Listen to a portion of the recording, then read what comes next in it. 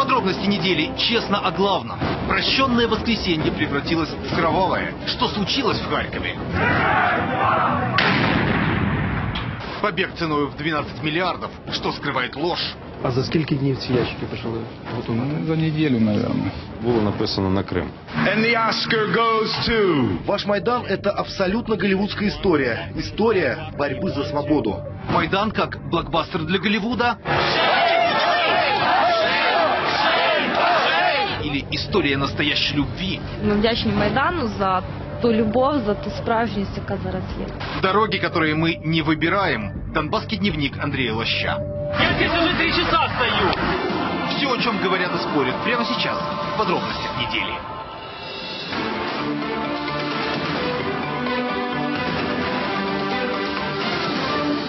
Вечер добрый. Это подробности недели. Я Дмитрий Анопченко. Начнем с новостей из Харькова.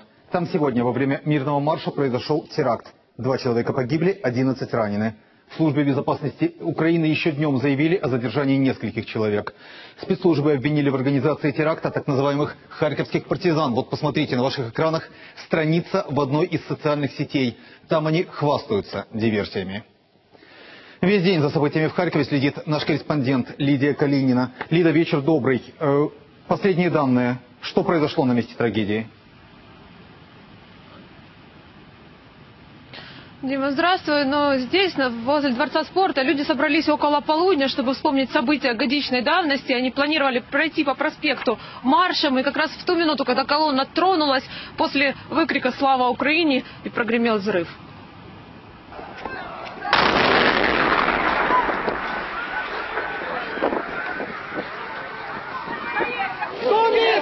Помощь оказывать? Быстрее, медики! Давай быстрее! Сюда, сюда! Отпуститесь, ребята!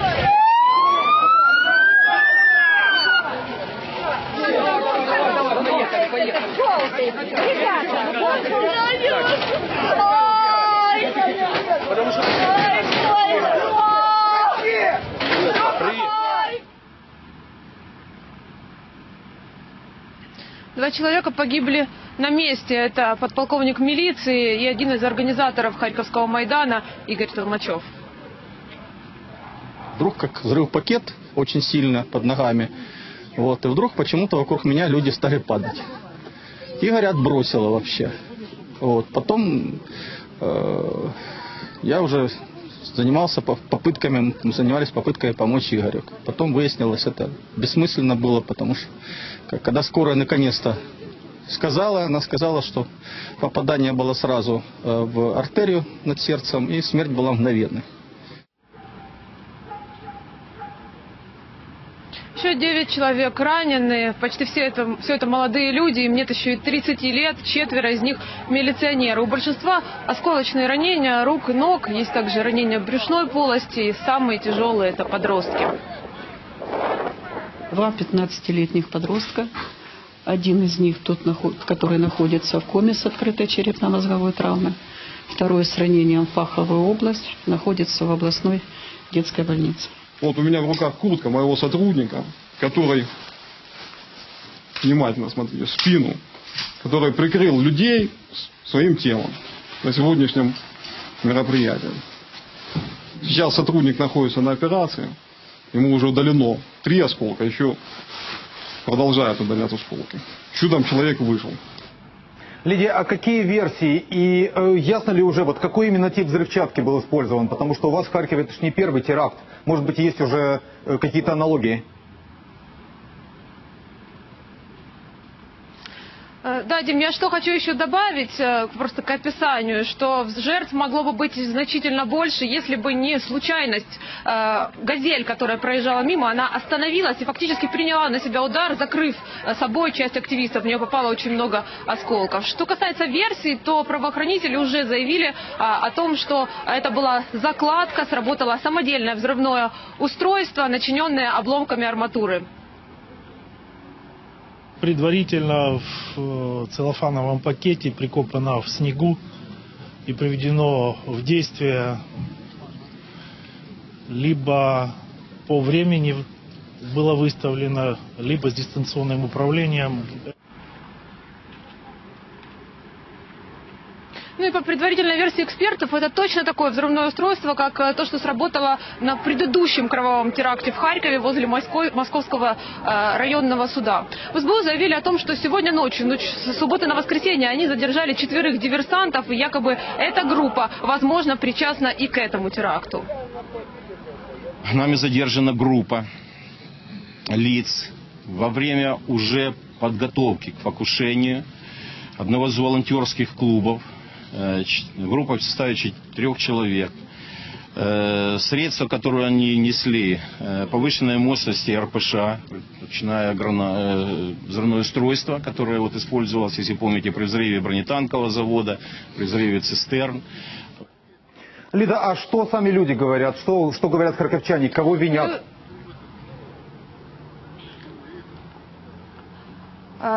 Дим, а, я просто хотела еще добавить о том, что президент Украины также прокомментировал ситуацию в Харькове и рассказал о том, что э, силовикам удалось предотвратить еще один теракт э, в другом городе. Наші е, опоненти, наші вороги е, намагалися дестабілізувати ситуацію в країні. Ви знаєте, що в Харкові відбувся терористичний акт, і наші спецслужби вдалося попередити терористичний акт в Одесі.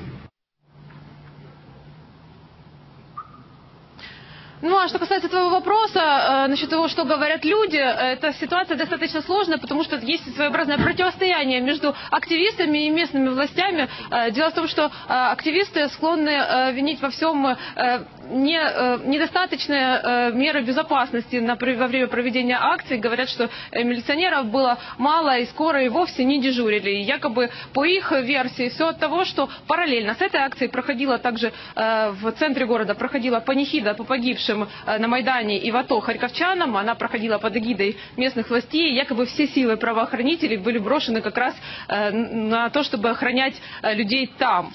Ну, силовики эту версию активистов отрицают, говорят, что они охраняли шествие, что, собственно, свидетельствует об этом четверо пострадавших милиционеров и один погибший. И, кроме этого, говорят, что обыскивали место, где планировали проводить акцию взрывотехники, но взрывчатку не нашли. В городе завтра э, в час дня планируют э, провести минуту молчания в память о погибших. На эту минуту должен остановиться весь городской транспорт и сигналить. Дима. Коллеги, спасибо за информацию. Ну, на самом деле, мне кажется, что от количества силовиков на месте совершения вот подобных преступлений очень мало что зависит. Я был на бостонском марафоне буквально в день взрыва, уж там-то силовиков хватало. Тем не менее, был этот страшный американский теракт. Спасибо большое. У нас сейчас есть возможность услышать точку зрения службы безопасности Украины. Маркиян Лутківський, советник главы СБУ. У нас должен быть на телефонной связи. Пане Маркіяне, чи чуєте ви мене? Добрий вечір, Чую, звичайно. Вечір добрий. Скажіть, будь ласка, та інформація, яку буквально е, нещодавно озвучив президент, що готувався другий теракт в Одесі, що його попередили. Будь ласка, дайте ще більше деталей. Чи сьогодні він мав відбутися?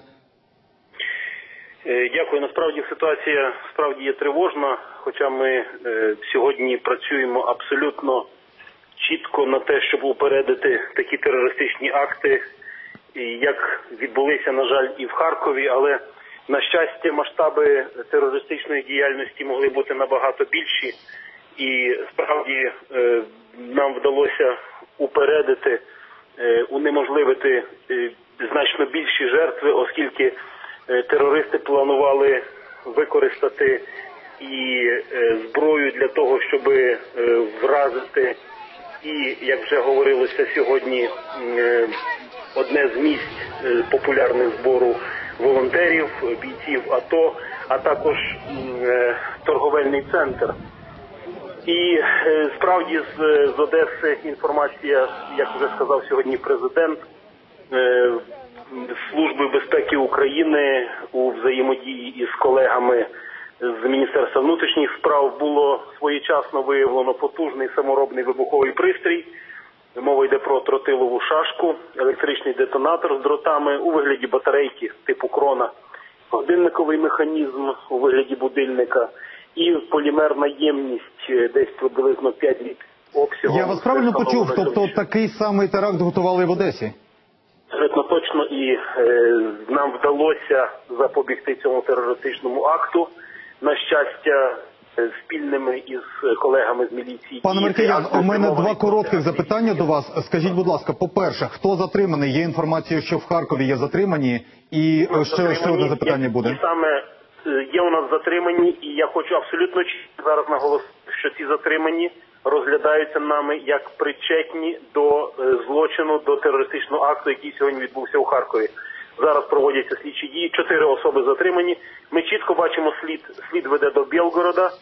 Е, Російської Федерації ця акція довго планувалася і вона була спрямована на те, щоб загинули люди. Я вас саме про це хотів запитати. Я щойно передивився стрічку агентства Reuters, світового агентства, яке по всьому світі читають. Там пишуть з посиланням на українських е, силовиків, що е, організу- ну, за, за цим вибухом, а за цим терактом е, стоять, е, стоїть Москва. Е, ви можете це підтвердити? Я можу це підтвердити. Більше того, сама сам сам ем, е, вогнемет Шніль він був одержаний саме в Білгороді керівником е, цього цієї банди, і інструкції одержувалися із Російської Федерації. Ми сьогодні це чітко розуміємо і бачимо.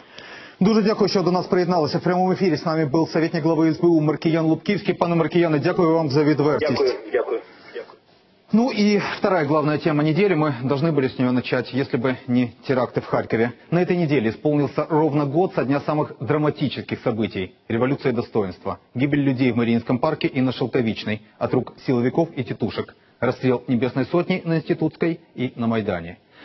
20 февраля вечером десятки тысяч человек вновь собрались на Майдане, чтобы помянуть героев. Приехали родственники Небесной Сотни, приехали украинские и иностранные политики. Вистояти, зберегти державу ми зможемо лише за умови, коли ми збережемо єдність. Ми всі у вічному боргу перед матерями і батьками за те, що вони виростили мужніх і прекрасних синів і доньок. І схиляємося перед дітьми, що втратили батьків. Я думаю, что этот Майдан должен был показать, в том числе каждому украинскому политику, что они не могут, никогда не должны больше э, не то что пренебрегать народу, но вообще, э, чтобы ни минуты не проводили зря, не, не заботясь о них. Ті люди, які полягли на Майдані, щоб вони своє життя віддали не даремно. Не для того, щоб долар по 30 був, щоб злодії е, далі керували і крали, щоб е, в країні нічого не мінялося. Люди не за це стояли. Память погибших почтили минутой молчания, но затем сын одного из погибших майдановцев символически зажег лучи достоинства, которые взметнулись в небо в местах, где пули настигли героев. Погибших почтили и сегодня во время многотысячного марша достоинства. В нем участвовали делегации из европейских стран, духовенства от поминального креста с портретами Небесной Сотни. Колонна прошла по так называемому правительственному кварталу, где в январе-феврале прошлого года и происходили вот эти самые ожесточенные стычки с силовиками, которые мы с вами прекрасно помним. Во главе шествия, взяв друг друга под руки, шли президенты шести стран Евросоюза и Украины. И марш завершился на Майдане общей молитвой, молитвой за мир. Ну и что сейчас на Майдане происходит в эти минуты, знает наш корреспондент Сергей Кудимов. Дайте связь, пожалуйста. Сергей, вечер добрый. Э, Много ли людей, остались ли люди? Какова сейчас ситуация на Майдане?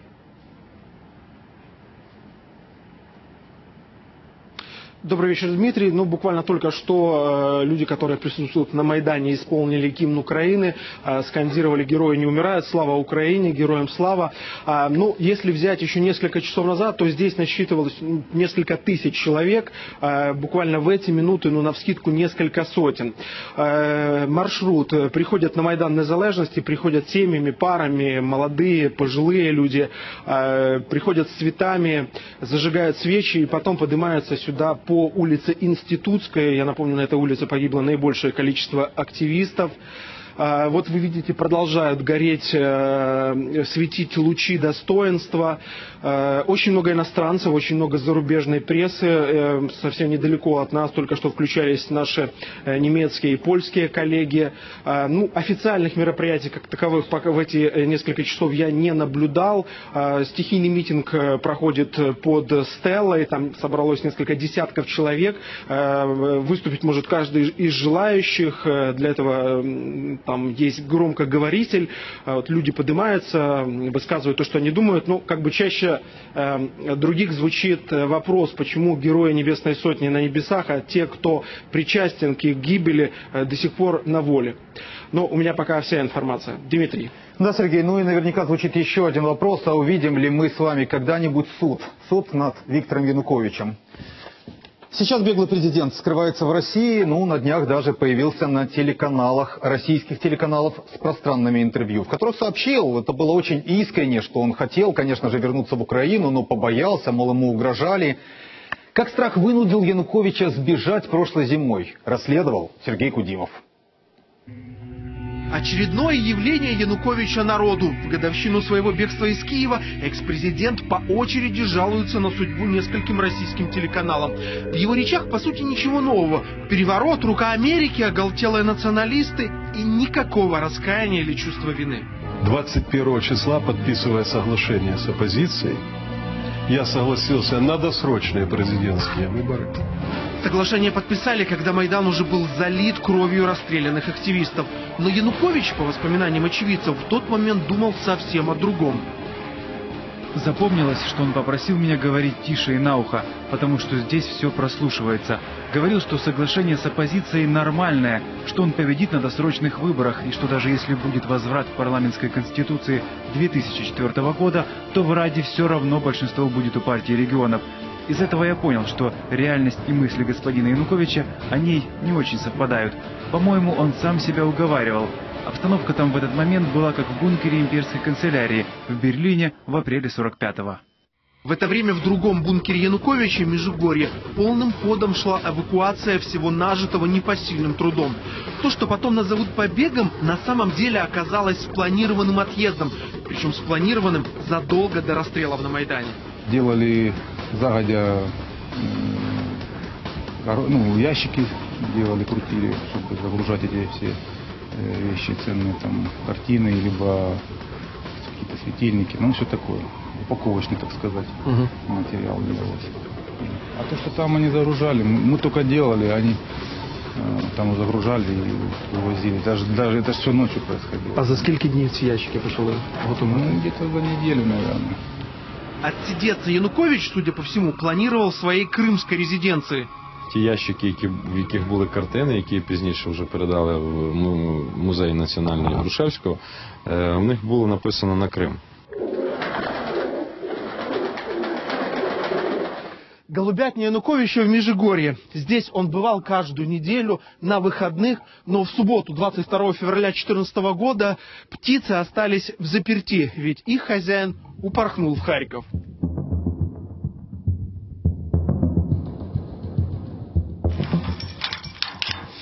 Бывшая обкомовская дача под Харьковом. В обиходе резиденция. Здесь Янукович переночевал, здесь же записал свое обращение. Ничего из подписанного с оппозицией он выполнять не собирается. Виктор Федорович, ситуация в стране критическая. А что вы можете сказать по этому поводу? Дайте, пожалуйста, вашу оценку происходящим событиям. Голос за кадром принадлежит ей. Анна Кузнецова была последним журналистом, кто видел Виктора Януковича в ранге президента. Через несколько часов Верховная Рада отправит его в отставку. Я видела да, человека расстроенного, видела человека, который теряет власть, я видела человека, который как бы не понимает, что делать, куда ему бежать, как бы за что хвататься. За кадром отдельно он ничего не говорил. Когда он уже понял, что он выговорился, он сказал, что все, Спасибо за интервью. До свидания. 22 февраля в Харькове должен был состояться съезд регионалов. Янукович собирался посетить это мероприятие. Я настаивал на том, чтобы он этого не делал. Зачем? Но я видел его психоэмоциональное состояние, не позволяет ему выступать перед людьми. Он неадекватно оценивает происходящие события. Янукович был абсолютно уверен, что Майдан сам по себе разойдется что все их требования будут свернуты, и его уверенность основывалась на неких гарантиях, которые он получил, насколько я понимаю, с его слов от высшего руководства Соединенных Штатов Америки, России и Европейского Союза. О чем говорили в ту ночь в Харьковской резиденции, он вспоминает неохотно, без особых подробностей.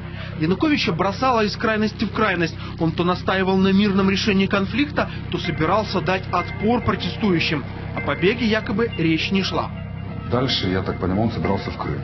В резиденции, на самом деле, присутствовал не только Добрин, там были другие люди. И а, вот вечер, ну, точнее, как, это уже глубокая ночь, они сидят, пьют виски, и э, Янукович обращается к одному из своих подчиненных. «А, Придумай новое название для страны.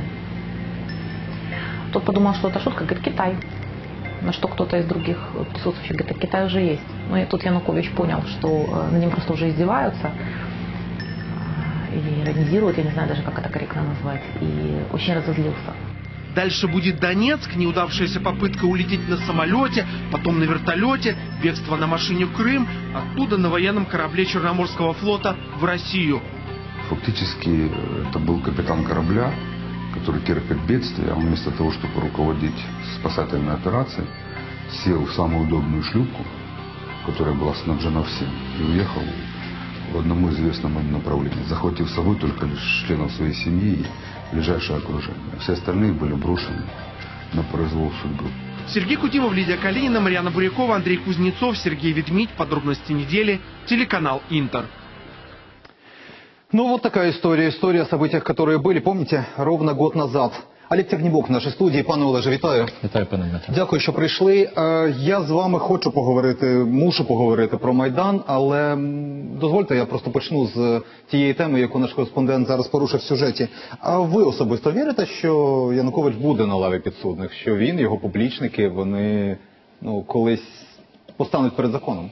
Я вірю в справедливість і переконаний, що таке, такий суд мусить бути. Суд, який, можливо, буде подібний на Нюрнбергський суд, суд, який буде, можливо, не український, а це буде міжнародний суд в Азії, можливо, буде ГАА, але таке ці злочинці вони мусять бути на лаві підсудних, і тоді ця справедливість буде торжествувати. Тоді українське суспільство зрозуміє, що можна рухатися далі, тому що пробачити всі ці злочини і всі ті смерті є просто неможливо. Ну чекайте, щось для цього має статися. Як їх дістати з Росії? Їх же по, по-хорошому Кремль не видасть.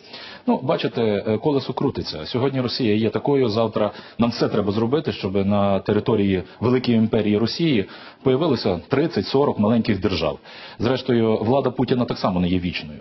Путін теж робить зараз величезні помилки. Він протиставив себе не просто Україні, але цілому світові. І тому я переконаний, що ті, хто втікли в Росію, і вони думають, що вони там зможуть сховатися і уникнути покарання, вони мають е, абсолютно невірні собі уявлення про те, що їм вдасться це зробити. Якщо коротко, а скільки часу це займе? Коли цього чекати?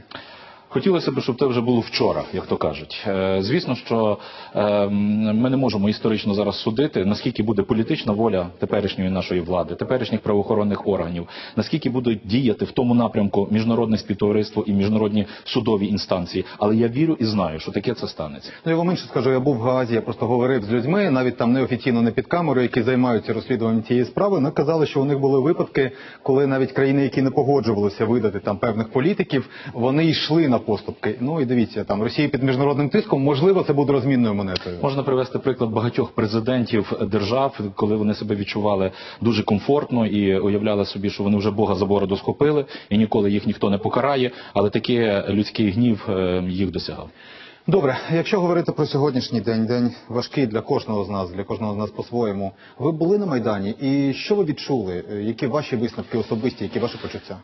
Разом з моїми побратимами, свободівцями, ми обійшли фактично всі ті місця, де загинуло наших 19 друзів, побратимів, чота така собі свободи в Небесній Сотні. Це і кріпосний провулок, і інститутська вулиця, і вулиця Грушевського. Біля кожного місця ми поклонилися, заспівали українського славня. І ми пам'ятаємо тих людей, які сьогодні є героями України, герої Небесної Сотні. Їх на превеликий жаль вже зараз є набагато більше. Бо ми зараз вже згадуємо не тільки героїв Небесної Сотні, ми вже згадуємо тих, які загинули на східному фронті. І ви знаєте, багато з тих людей вони виховувалися на ем, історичних е, постатях, е, наприклад, УПА, ем, е, ОУН і е, інших ем, українських бійців за незалежність, холодноярців, січових стрільців, бійців Карпатської січі. Так от, напевно, наступне покоління, яке буде вже вивчати історію, буде, нові герої, Для них вони будуть тими новими героями. А, Вы знаете, я, я продолжу с вами разговор, я хочу просто прервати. Я хо- хотел бы прерваться а, на сюжет, сюжет об истории не столько о Майдане, сколько о том чувстве, которое там появилось, потому что Майдан это не только Слезы по тем, кого сегодня оплакивают, кого сегодня вспоминают. Не только разговоры о героизме, о боли, но и, конечно же, это любовь. Ну, казалось бы, вот когда вокруг все в огне, когда гибнут люди, то не до сантиментов. Но за время Майдана многие нашли не просто единомышленников, нашли свои вторые половинки. Одной из таких историй, главные герои которой Александра и Александра, участники студенческого Майдана, того самого, мы вам сейчас расскажем.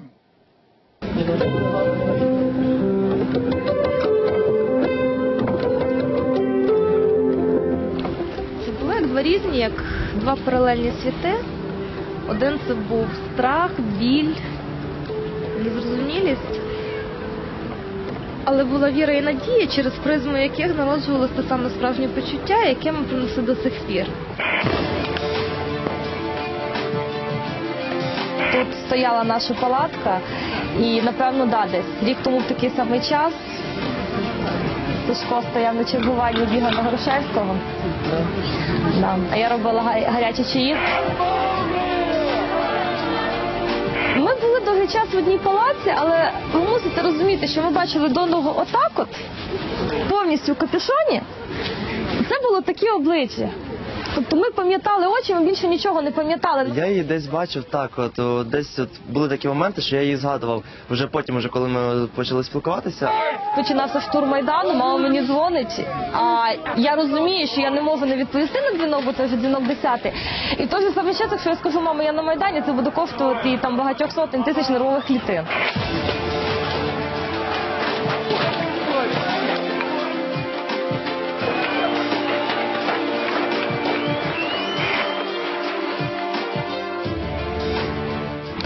Перед наступом Маріїнці Артем тоді ще позвонив, і він був настільки спокійний, що я навіть не думала, що щось може трапитися. Він був нашим близьким другом, перша близька втрата. І саме ну, на його похоронах дивилися ми Сашою. Знаєш, як помітили один одного. Ну, це було набагато простіше, всі емоції були назовні. І ми стали щось більше, ніж просто люди з однієї сотні.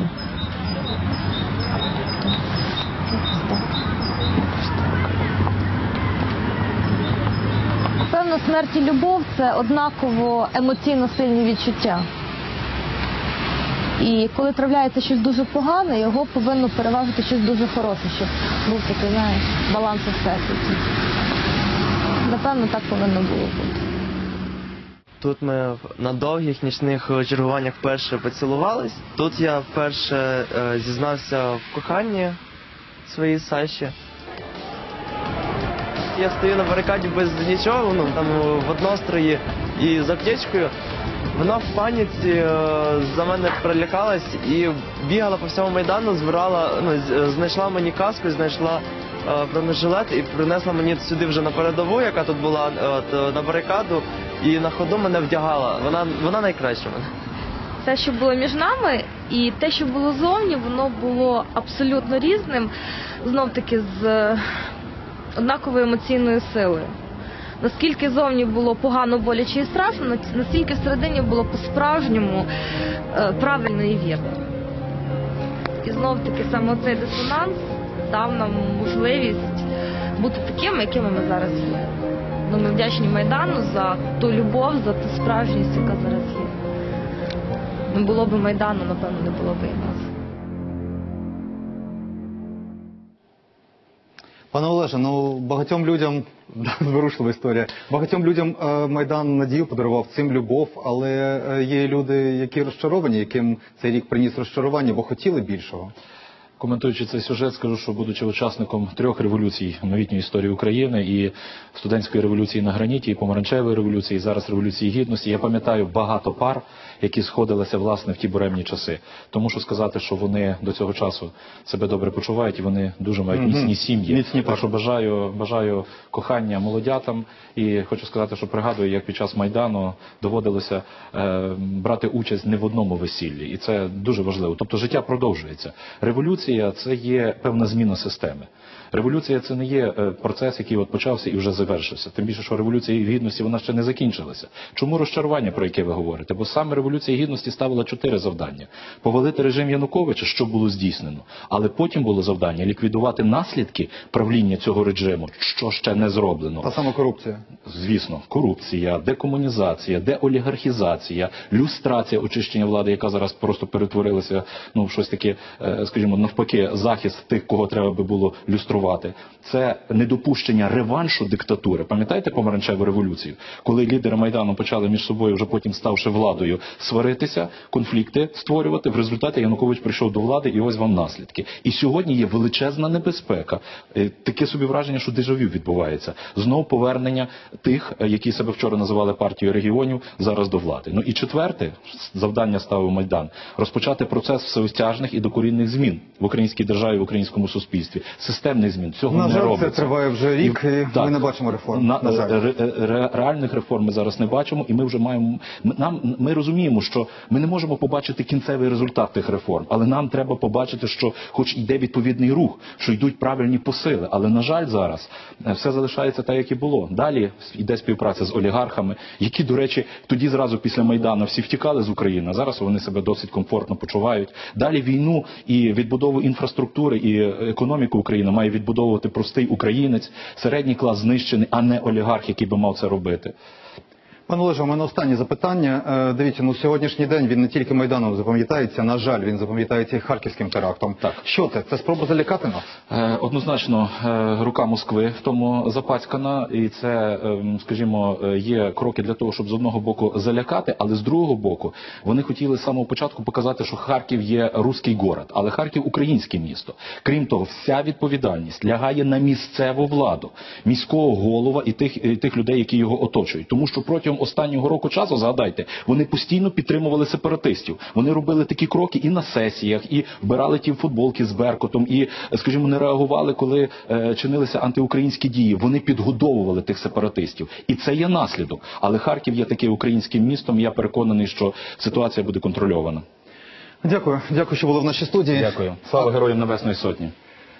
Олег Технебок с нами был. И о событиях на Майдане говорили сегодня в Соединенных Штатах. Ну, я только этой ночью вернулся из Лос-Анджелеса, где через несколько часов начнется церемония вручения премии «Оскар». Так вот, попроси- победителей специально попросили в этот раз обойтись без политических заявлений. Сделано было это из-за того, что в прошлом году, ровно год назад, Джаред Лето просто со сцены, получив золотую статуэтку, посвятил свою победу в том числе и Украине. Что самое интересное, в Лос-Анджелесе абсолютно не скрывая говорят, что Майдан это абсолютно голливудская история. А вот почему и что имеют в виду? Вот давайте прямо сейчас послушаем. На Голливудском бульваре Лос-Анджелеса в эти минуты последние приготовления. Суетятся организаторы, корреспонденты репетируют текст для прямых включений и обсуждают, о чем бы спросить голливудских звезд, которые уже через несколько часов появятся на красной дорожке Оскара.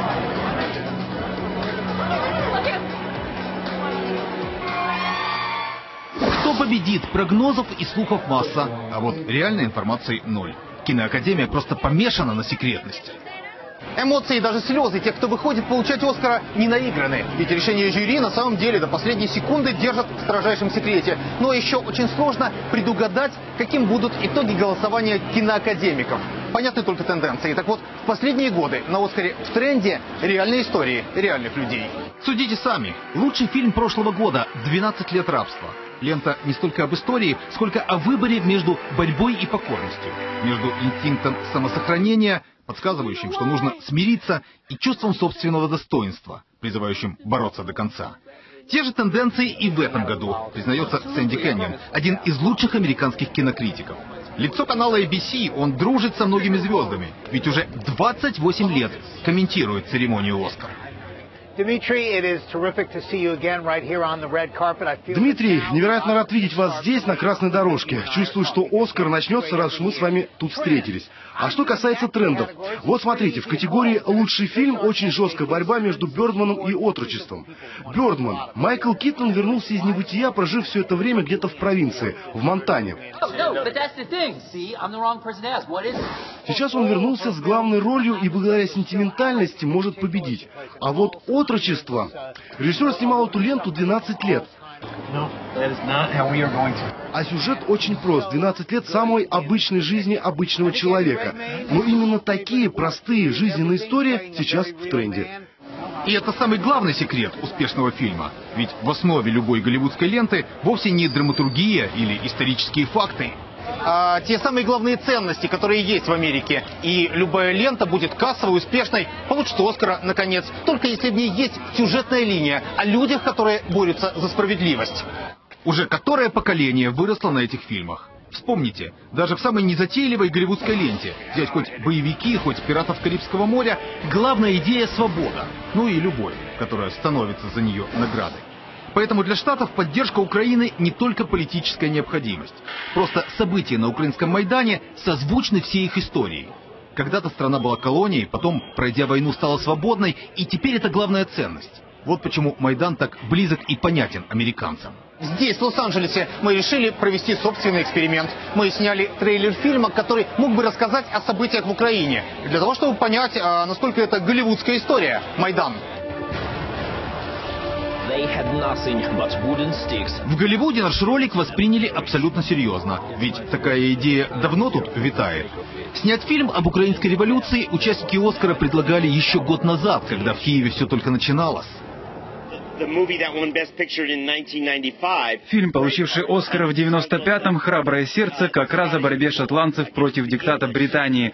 Весь Голливуд — это история о праве выбора своей судьбы. Поэтому «Украинский Майдан» — абсолютно голливудская история. Если этот фильм снимут и за него возьмется режиссер с именем, то и номинация на «Оскар» возможна. Украина сейчас у всех на слуху. За такой фильм вполне мог бы Стивен Спилберг взяться, учитывая, что его корни из Украины. Самим режиссером в Лос-Анджелесе нам пообщаться не удалось, но в офисе киноакадемии ему пообещали передать об этом фильме.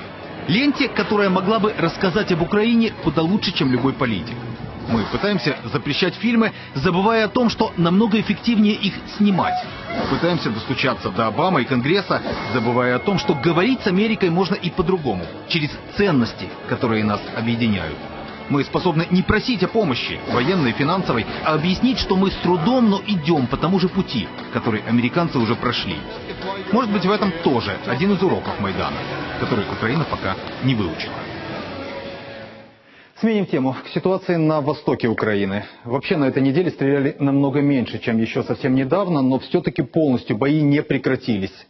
Главный очаг – это, конечно же, Дебальцево. Украинские войска смогли отступить из этого города. И какая ситуация сейчас на фронте, знает наш корреспондент Вениамин Трубачев. Вениамин, а сегодня боев уже не было? Намного спокойнее? Да, Дмитрий, сегодня было намного спокойнее. Вот в районе Дебальцева сегодня было относительно тихо. Слышны только были одиночные взрывы и залпы. В городе сейчас находятся боевики. Вот Местных жителей осталось немного. В основном это старики и люди, которые успели уехать, когда начались масштабные боевые действия. Но горожане в Дебальцево продолжают жить в подвалах, потому что многие дома и квартиры разрушены. А вот в таких вот полуподвальных укрытиях хоть тепло и безопасно. Загнали нас в подвал вот месяц. В голоде, в холоде, ни воды, ни тепла. Ни света. Ни света. Ну сейчас не стреляют. Вы... Сейчас хоть не стреляют. А сколько мы страху натерпелись. Также много разрушений в других прифронтовых городах. Поселок Луганский находится под э, контролем украинской армии. Там тоже сейчас не стреляют, но людей практически нет. Осталось только несколько сотен человек. Многие выехали и возвращаться уже им, по сути, некуда. Большая часть домов разрушена, повсюду воронки от снарядов. Первый снаряд попал 22 числа вот сюда во двор. Вот, яма. Тут был орех, вот он, вот, ствол от ореха, что видите? А от яблони вон растращила ствол. Яблоня была вот там, орех упал сюда, лестницу ну, разорвала. Окна выпали вот эти, это, тут два и там три. Все выпало сразу. Ну, вообще нема нічого. Що є в підвалах, то і є. А у кого нема, то і голодує, і здихає. Все. А что-то привозят там, э, какую-то еду, хлеб? Где? Куда? Тут вообще магазинов нет. Ну вот, несмотря на то, что сейчас относительно такое затишье, и люди все-таки опасаются возвращаться домой и отстраивать разрушенные, все боятся новых обстрелов. И вот я встречал жителей, которые только приезжают для того, чтобы забрать вещи из квартиры частных домов и снова уезжают в мирные, на мирные территории. Угу. Уезжали в том, чем с одной сумкой в одном, и все. Угу. Потому что обстрелы шли очень интенсивно. И сейчас добрали все, что необходимо, и все. Вещи забрали, и все, теперь уезжаем. Сегодня тихо, прекрасно, спокойно. Мы довольны. Тем, что мы проскочили без, так сказать, эксцессов. Ну вот накануне поздно вечером также состоялся обмен пленными. Вернулись домой 139 украинских военных. Они были схвачены боевиками во время боев за Дебальцево и Донецкий аэропорт. Среди бойцов есть и раненые. Они были сразу же отправлены в э, больницы. Стоит отметить, что это был самый масштабный обмен пленными за последние месяцы. Вез э, боеприпасы, питание, ГСМ, подразделение, которое держало оборону в Редколу. Попали в засаду. Приняли бой. У нас один лежал По итогам попали в плен. Плен 4 суток назад попали. Дебальцево. Сейчас уже многие ребята, которые были в плену, находятся дома с близкими. Вот что касается гуманитарной ситуации в прифронтовых городах, она, можно сказать, катастрофическая. В некоторых поселках по-прежнему нет света, газа и воды. Люди в буквальном смысле выживают. Нет даже налаженных поставок продуктов. И жителям помогают, по сути, только волонтеры и военные. Дмитрий. Спасибо, Вениамин Трубачев о ситуации во фронтовой зоне и в прифронтовой. Представитель Минобороны, полковник Валентин Федичев к нам подъехал. Вечер добрый. Спасибо, что приехали. Скажите, а как ведут себя боевики? Они продолжают атаки? Что сейчас происходит? Что бросалось в глаза во время боев э, вокруг Дебальцева? Первое. Мы чувствовали, что жители которые относят себя к жителям Луганской и Донецкой области, воевать не хотят. Мы чувствовали, что их гонят на эту войну. Не случайно, приблизительно за две недели до этих событий в российских средствах массовой информации появилось обвинение вооруженных сил Украины о том, что у нас стали использоваться заградотряды. Но практика отслеживания их медийного простора такова, что обычно они предъявляют обвинения перед тем, как начинают действовать подобным образом. Мы чувствовали, что за спиной боевиков стоит, стоят российские Простите, войска. Вы только чувствовали нет, или есть прямые доказательства? Нет. Дело в том, что такие вещи, они ощущаются во время боя. Э, а это чувствуется по интенсивности ведения огня, по используемой тактике боевиков, э, как построятся боевые порядки. Фактически я это могу утверждать, что именно так под Дебальцево это и было. Кроме того, мы наблюдали ситуацию, при которой вокруг Дебальцева во время перемирия боевики собрали с других направлений резервы. И именно это позволило им создать преимущество в количестве личного состава, боевой техники на Дебальцевском направлении. Но что вселяет сейчас надежду, кроме того, что вооруженные силы Украины научились воевать? Я это заявляю, несмотря на то, что мы оставили Дебальцево, но была проведена операция крайне сложная я повторюсь, может быть, сказав, что операция по выводу войск из окружения форма таких боевых действий относится к наиболее сложным. Будьте добры, знаете, я по поводу Дебальцева вас э, обязательно спрошу, потому что главный вопрос э, у многих э, из тех, кто нас сейчас смотрит, это что же все-таки было в Дебальцево? Поражение, победа, компромисс. Но, вы знаете, Проблема же, наверное, не только в военных, проблема в гражданских, которые там остаются. И вот сейчас одной из главных тем до сих пор остается спасение людей, которые в подвалах, в бомбоубежищах, мы многих с них видели. И вот что говорят те, кто буквально только что вернулся оттуда, буквально из ада. Эти люди много месяцев жили в холодных подвалах, проголодь, и теперь для них открыты временные общежития в Артемовске, Краматорске и Славянске.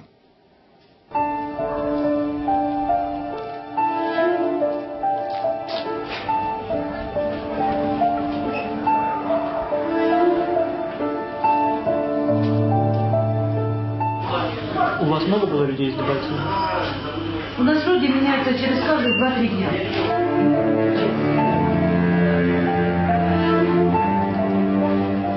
Сначала нас подобрали возле бомбоубежища на поселке 8 марта. Довезли до горисполкома Дебальцевского. Там стояли долго. А дальнейшие планы? Чего вы ждете? Как вы будете действовать дальше?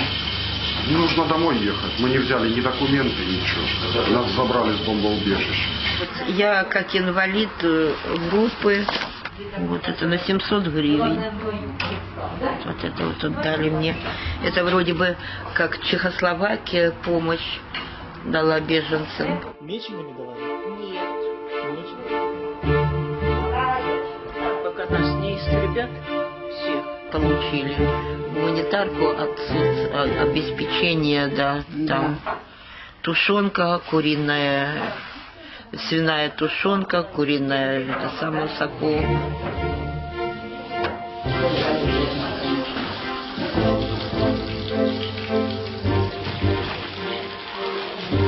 Сын мне не мог позвонить, и я э, думаю, ну как, по маршруту хотя бы приехать. Плохо уже, 55 лет, плохо ориентируешься. Это э, в такие годы только сидеть дома.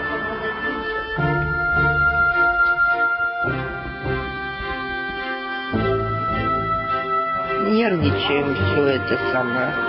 А нервы на пределе. Скажите, ну вот эти люди, они, к счастью, вырвались, они, к счастью, где-то в приютах, в общежитиях, там, Артемовск, Краматорск, Славянск. Как быть с теми, кто до сих пор э, сидит в бомбоубежищах, в подвалах? Как раз этот сюжет и показывает, что у проблемы разрешения войны на востоке Украины нет только военной составляющей. Это и политическая, и гуманитарная, и военная составляющая. Вы знаете, интересно было, не просто интересно, а необычно наблюдать, когда идут обстрелы, особенно ночные обстрелы, и в то же время светятся огни теплоэлектростанции, которая находится рядом э, с поселком Луганская. И по этой электростанции без какого-либо договоренности не стреляли э, боевики.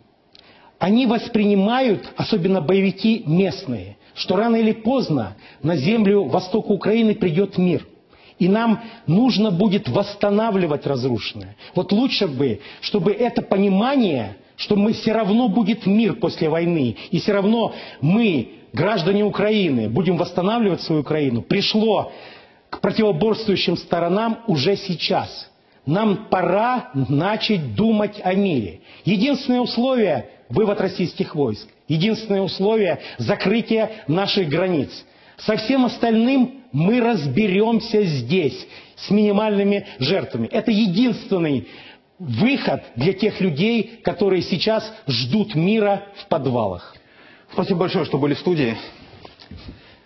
Подробности недели мы продолжаем и прервемся ненадолго на рекламу, для того, чтобы э, уже через 13 минут есть возможность. Прекрасно, хорошо. У нас есть возможность еще один сюжет увидеть.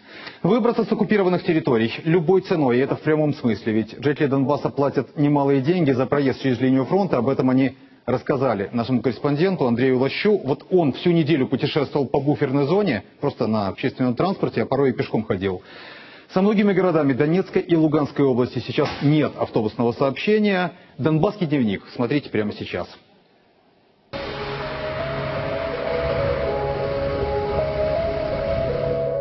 Прифронтовой город Марьинка, аванпост военных, отсюда до Донецка рукой подать.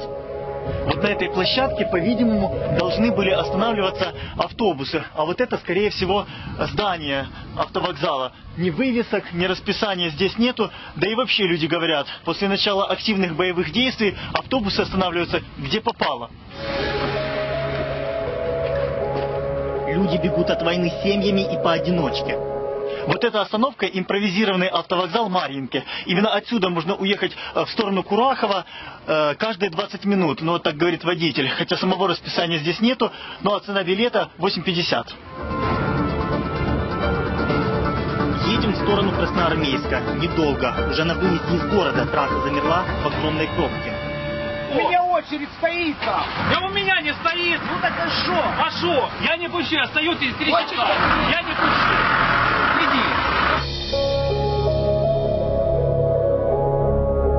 Людей сдают нервы, ожидание изматывает. Не факт, что все проедут, и не факт, что сегодня. Вот запорожский спереди автобус, он уже, наверное, час стоит точно. Выезд с оккупированной территории только по пропускам. Если его нет, разворачивают на блокпосту. Автобусы полупустые. Сегодня счастливчиков немного. Вот это довидку в Селидовском горсовете сделала. Э, Это уже мне разрешение на, на проезд. Парализованного человека, я не знаю, как сейчас я провезу. Цены на пропуска растут быстрее курса доллара. Спрос колоссальный, ведь жить хотят все. Три недели ждать. Вот три недели. Еще надо день выстоять в очереди, чтобы узнать, сделали тебе его или нет. А так полторы тысячи платишь и все, и нет проблем, да? Да, через два дня тебе привозят. Кто за тысячу начинал делать, потом до полторы вышло. А с откуда кто эти сведения? Пассажиры едут и рассказывают. То есть сам проезд стоит копейки по сравнению с тем, сколько надо денег заплатить, чтобы выбраться. Да, вот с донецкой пропиской на блокпосту высаживают. Хоть к родителям едешь, хоть к бабушкам, хоть к дедушкам, без разницы. Это слишком дорого. Вы что, хотите жить в ДНР? Ну, при чем тут ДНР? Чего вы тогда сюда едете? Вот это автобусные дискуссии. Люди обсуждают, кому где жить хорошо, на каком языке говорить и кто больше патриот, в какой части страны. Из оккупированной боевиками Донецкой области есть еще одна дорога жизни. Через Горловку на Дзержинск. Водители автобусов взвинтили цены. Вот 100-153 гривен с человека в Горловку. А билет стоит 9 гривен стоил. Я отъездил бесплатно, а потом старички ехали, он их не пустил. 35 гривен был билет. Не услышала за Горловку. Туда пускают или не пускают? Ну, пускали раньше, ездили. Вот В понедельник утром еще пускали, ездили. скажем так. Ну вот вчера вернули автобус. Потому что они говорят, туда заедешь, назад не выпустим, потому что денег у тебя не хватит. На два дня поделить. Конечно. Взяли курс на Константиновку. В автобусе много пожилых людей. Едут за пенсией. Ее не получить на оккупированной территории и в прифронтовой зоне. Появились даже посредники. У них есть пропуск и желание заработать. На самых социально незащищенных. Людям, живущим в отдаленных поселках в прифронтовой зоне, иногда приходится преодолевать часть пути пешком. Некоторые автобусные маршруты, несмотря на перемирие, так и не возобновили свою работу. Не работают и вокзалы, например, в городе Счастье Луганской области. Вот это та самая автостанция, которую обстреляли боевики и где погибло сразу несколько человек. Автобусы по межгороду отсюда не отправляются уже давно.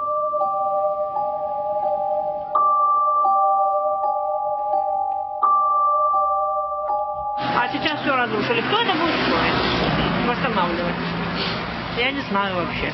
Кошмар. Как такового автовокзала в городе Счастье сейчас нет. Междугородние маршрутки останавливаются, ну вот, например, на такой обычной остановке, набирают людей и в другом конце города уже могут даже не остановиться.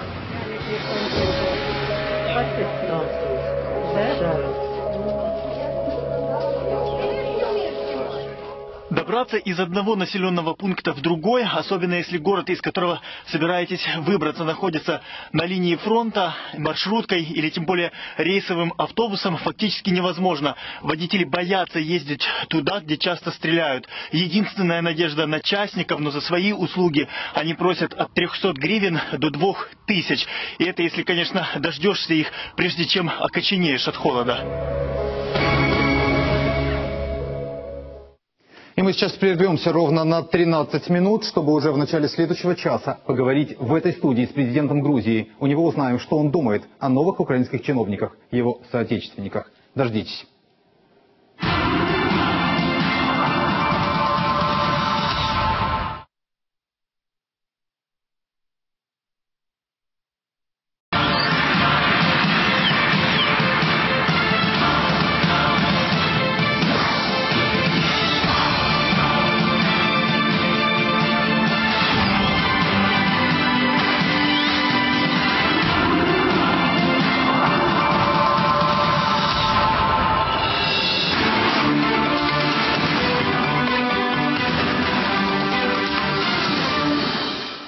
Подробности недели. Мы в прямом эфире и начну с новостей из Харькова. Там сегодня во время мирного марша произошел теракт. Два человека погибли, 11 ранены.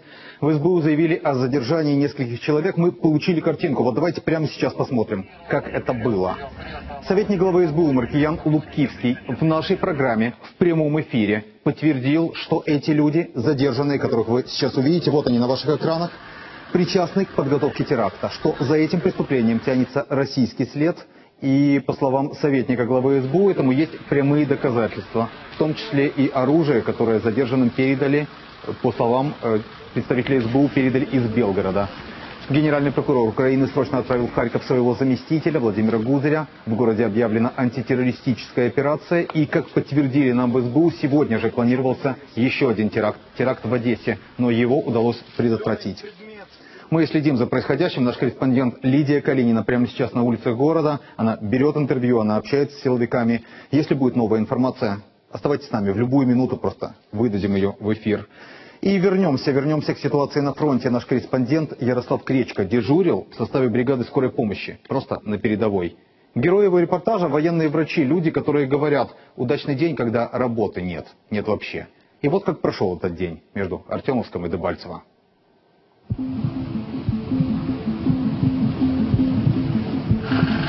Врачи это называется боевое дежурство. Мы сейчас едем ближе к передовой, ближе к Дебальцеву. Если выстрел, я увидел, я услышал, там и упал. Все ясно? Ясно. Там осколок попал кого-то. Сразу кричите. Руки не поднимать, не вставать вообще. Всегда все по-разному. Не получается так, что сегодня спокойно, там, но никогда не спокойно. Потому что давай, у нас здесь есть определенные пункты, где мы стоим. То есть мы перехватываем, к примеру, раненых. Оказываем помощь, стабилизируем. Вся работа. И доставить больницу. Чем быстрее, тем. Живого. Ну, доктор знает, есть такая вещь золотой час. Успел помочь. Выжил человек. Не успел. Это время, э, на которое человек может рассчитывать, как бы, что он будет спасен в случае, если травмы совместимы с. Когда идет колонна, пять машин. Бьют первую, последнюю, всех расстреливают. Да? И когда одна машина задняя встает, а, большая вероятность развернуться и уехать, примерно. То есть они целенаправленно по скорым, да? Да, вот по скорым они лупят именно в первую очередь. Поэтому не расслабляйтесь.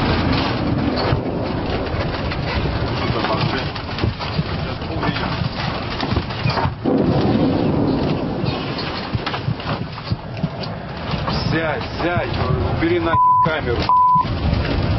Развернулись, дальше ехать. Опасно. Возвращаемся. Приехали в расположение наших военных, наверное, дежурить будем пока здесь.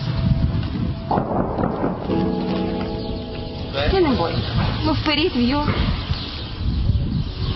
Это стишок? Мы с Тамарой ходим парой, санітарами з Тамарою. Емоції в мене були, коли я побачив, як вивозили бойці, Урал і дві собачі морди там. Такі щасливі. У одних з птура десь по танку стукнули там. Осколки ВЦ дрібні. Вчора двоє. Позавчора на міні підірвалися на машині. Ногу відірвав. Другому просто поламав одну. Але добре, живі всі.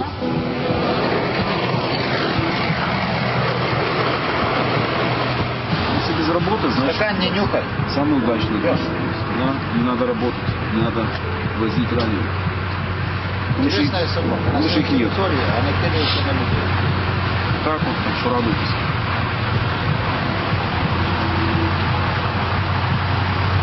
Здравствуйте. Ну как-то тихо, да.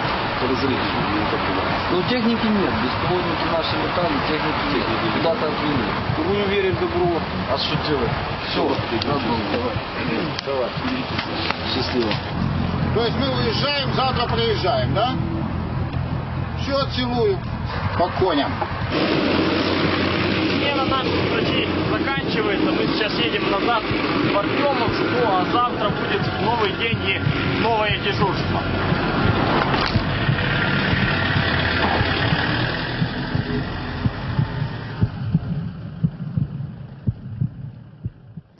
помимо Артемовска, помимо Дебальцева, горячей точки на украинской карте есть еще одна Углегорск. Вот о том, что там происходит, поговорим прямо сейчас. К нам гость подъехал. Вечер добрый, проходите, пожалуйста, в студию. Андрей Артеменко, народный депутат. Да.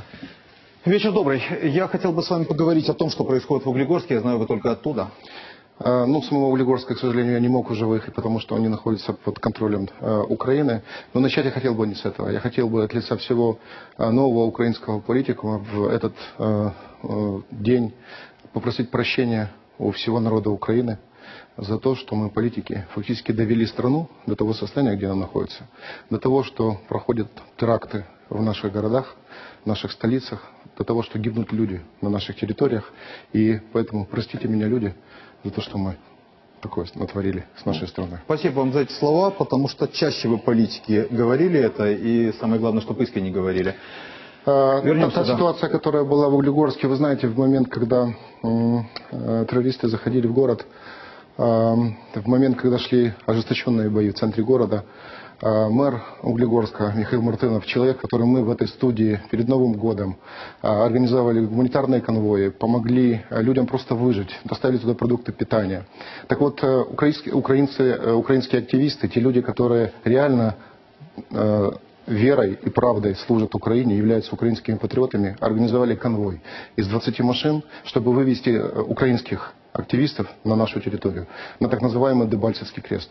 К сожалению, наши военные, которые стояли на этом блокпосту, заблокировали этот выезд, были расстреляны две первые машины со словами «Вам не сюда, вам в другую сторону, езжайте в Янакиево». Этих людей не пустили на нашу территорию. Вот что мы имеем, к сожалению. И это причина, почему происходят теракты. Это причина, потому Украина не имеет своей стратегии по отношению к своим собственным гражданам, которые живут на территории Донецка и Луганска, и происходят такие дикие, жуткие вещи. Андрей, давайте все-таки разделим. Теракты происходят, потому что, ну, в любом случае, как заявляют силовики в нашем эфире, это план, э, это план эти люди, которые были подготовлены на российской территории. Я с вами полностью согласен, но наша идеология, наша позиция к нашим, нашим гражданам, которые живут в Донецкой и Луганской территории, если мы когда-нибудь собираемся вернуть эти территории себе, должна быть такая, чтобы они захотели жить в стране. Для того, чтобы они мечтали жить в Украине, для того, чтобы они делали все, чтобы наша страна процветала. Э, Что происходит со справками? Вы были там, вы видели Да, это, своими глазами? это еще одна дикость, которую я не знаю, какой человек это придумал. А, 10 дней необходимо рядовому жителю, гражданину а, Донецкой и Луганской области для того, чтобы оформить справку на въезд и выезд в зону АТО. Но вы представьте себе ситуацию. Вам нужно получить пенсию, вам нужно получить зарплату, вам нужно получить социальное пособие. Вы должны обратиться в пункт приема, который не обозначен ни на карте, ни, нет никакой же, естественно, си- системы оповещения информации, для того, чтобы подать запрос на въезд в зону АТО для получения тех или иных документов. 10 дней. Как людям выжить? Как людям пережить этот кошмар? А кто этот порядок утвердил? А, Вы понимаете, ну это руководство АТО, э, так называемое, опять же АТО. Что такое АТО? Ну, даже президент уже назвал ситуацию, которая происходит на Донбассе Великой Отечественной войной, Великой Отечественной Украинской войной. Это его слова, я цитирую. Мы все-таки упорно продолжаем называть эту ситуацию АТО. Поэтому я сделаю все для того, чтобы эти справки, которые заставляют оформлять жителей Луганской и Донецкой области, были отменены в немедленном порядке. Ну подождите, вы народный депутат, вы не можете в правительство обратиться? Вы Вас знаете- с вашим удостоверением прямой Вы вход. знаете, к сожалению, ничего не поменялось. У нас одно ОПГ поменяло на другое ОПГ. Даже люди, которые к нам приехали из-за рубежа, госпожа Ере- Ерейская, я вот сейчас в прямом эфире пользуюсь, пользуюсь случаем, обращаюсь к ней. Я три недели, три недели не могу добиться на прием к министру финансов только для того, чтобы дать свои предложения по дополнению и изменению к бюджету Украины. Для того, чтобы реально обеспечить жизнь людей, которые живут в Луганске и Донецке, реальным финансированием. К сожалению, то, что происходит сегодня, это кошмар. Я думаю, она была бы в нормальной цивилизованной стране в течение двух суток уволена с той должности. Поэтому я обращаюсь через ваш эфир, через ваш канал с просьбой. Уважаемый министр финансов, примите меня. Я за- у виза- у вас записан на прием уже почти три недели. Коллеги, у нас есть время на еще один вопрос гостю? Э, Скажите, вот ситуация на Донбассе, все-таки, наверное, то, что очень многих сейчас волнует, э, ну, мягко говоря, она далека от нормальной. Сколько денег понадобится на восстановление? И вот ваше видение, а как это все восстанавливать? И за чьи деньги? Ну, вопрос, кто будет это восстанавливать. Э, Если это территория Украины, то, соответственно, это будет восстанавливать Украина. А если это территория не украинская, то, наверное, кто ее захватил, тот пускай восстанавливает.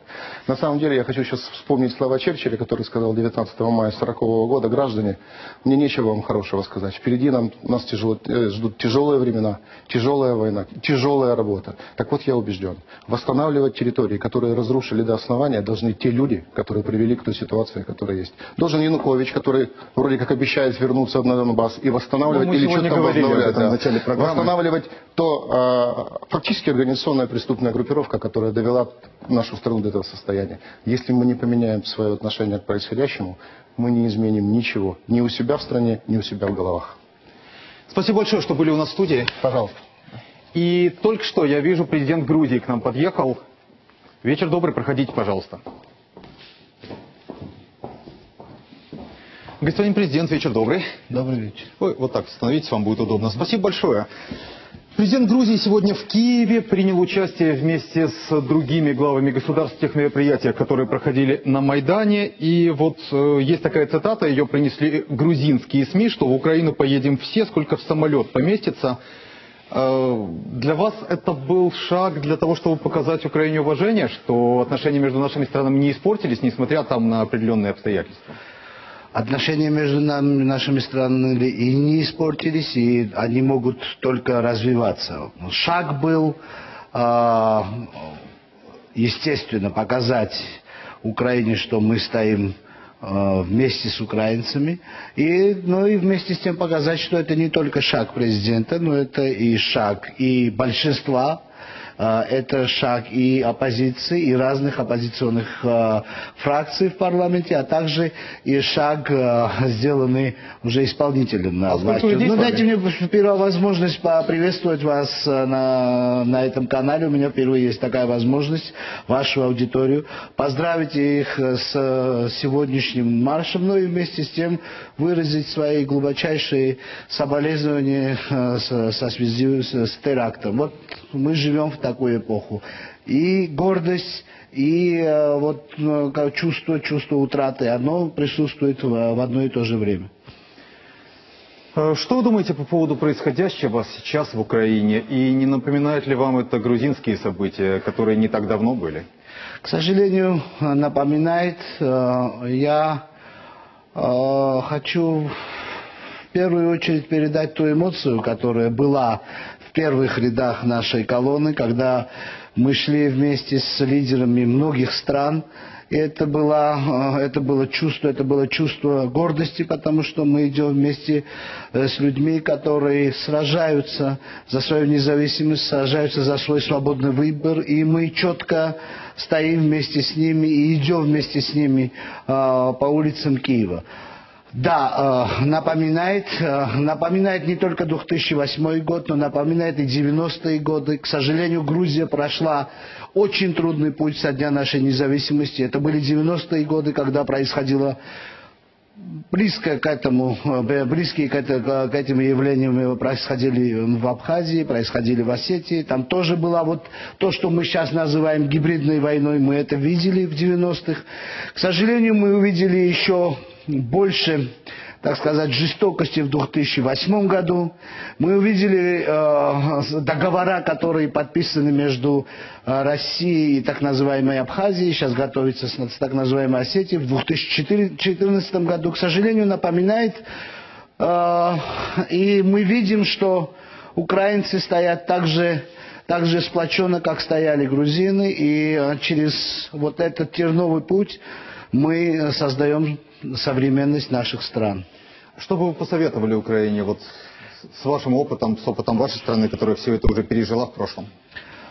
Мы бы посоветовали, во-первых, стоять так, как вы стоите, стоять не боясь, стоять гордо, и вместе с тем, естественно, не, те- не терять рациональный подход к тем процессам, которые происходят. Да, очень трудно э, в такие моменты думать о рациональной политике, думать о главных э, м, пунктах, которые мы должны, должны достичь, но это и должны делать политики. С одной стороны, стоять вот э, в таком трудном, в трудный момент вместе, вместе со своими гражданами, ну и думать о прагматических шагах, которые нужно развивать по этому направлению. Господин президент, я вас хочу э, спросить о, наверное, главной теме, которую Украина обсуждает на этой неделе, теме американского оружия. Буквально вот через минуту мы сможем это сделать. Я зрителям поясню, в чем дело.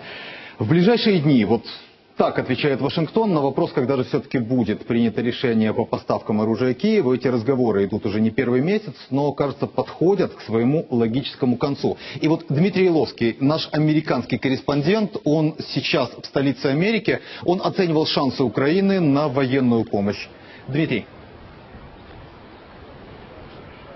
Дмитрий, Белый дом довольно долго не называл каких-то конкретных сроков, но вот теперь, похоже, момент истины все-таки пришел. Накануне в Лондоне госсекретарь был атакован журналистами. Он заявил, Барак Обама в течение нескольких ближайших дней окончательно скажет, да или нет.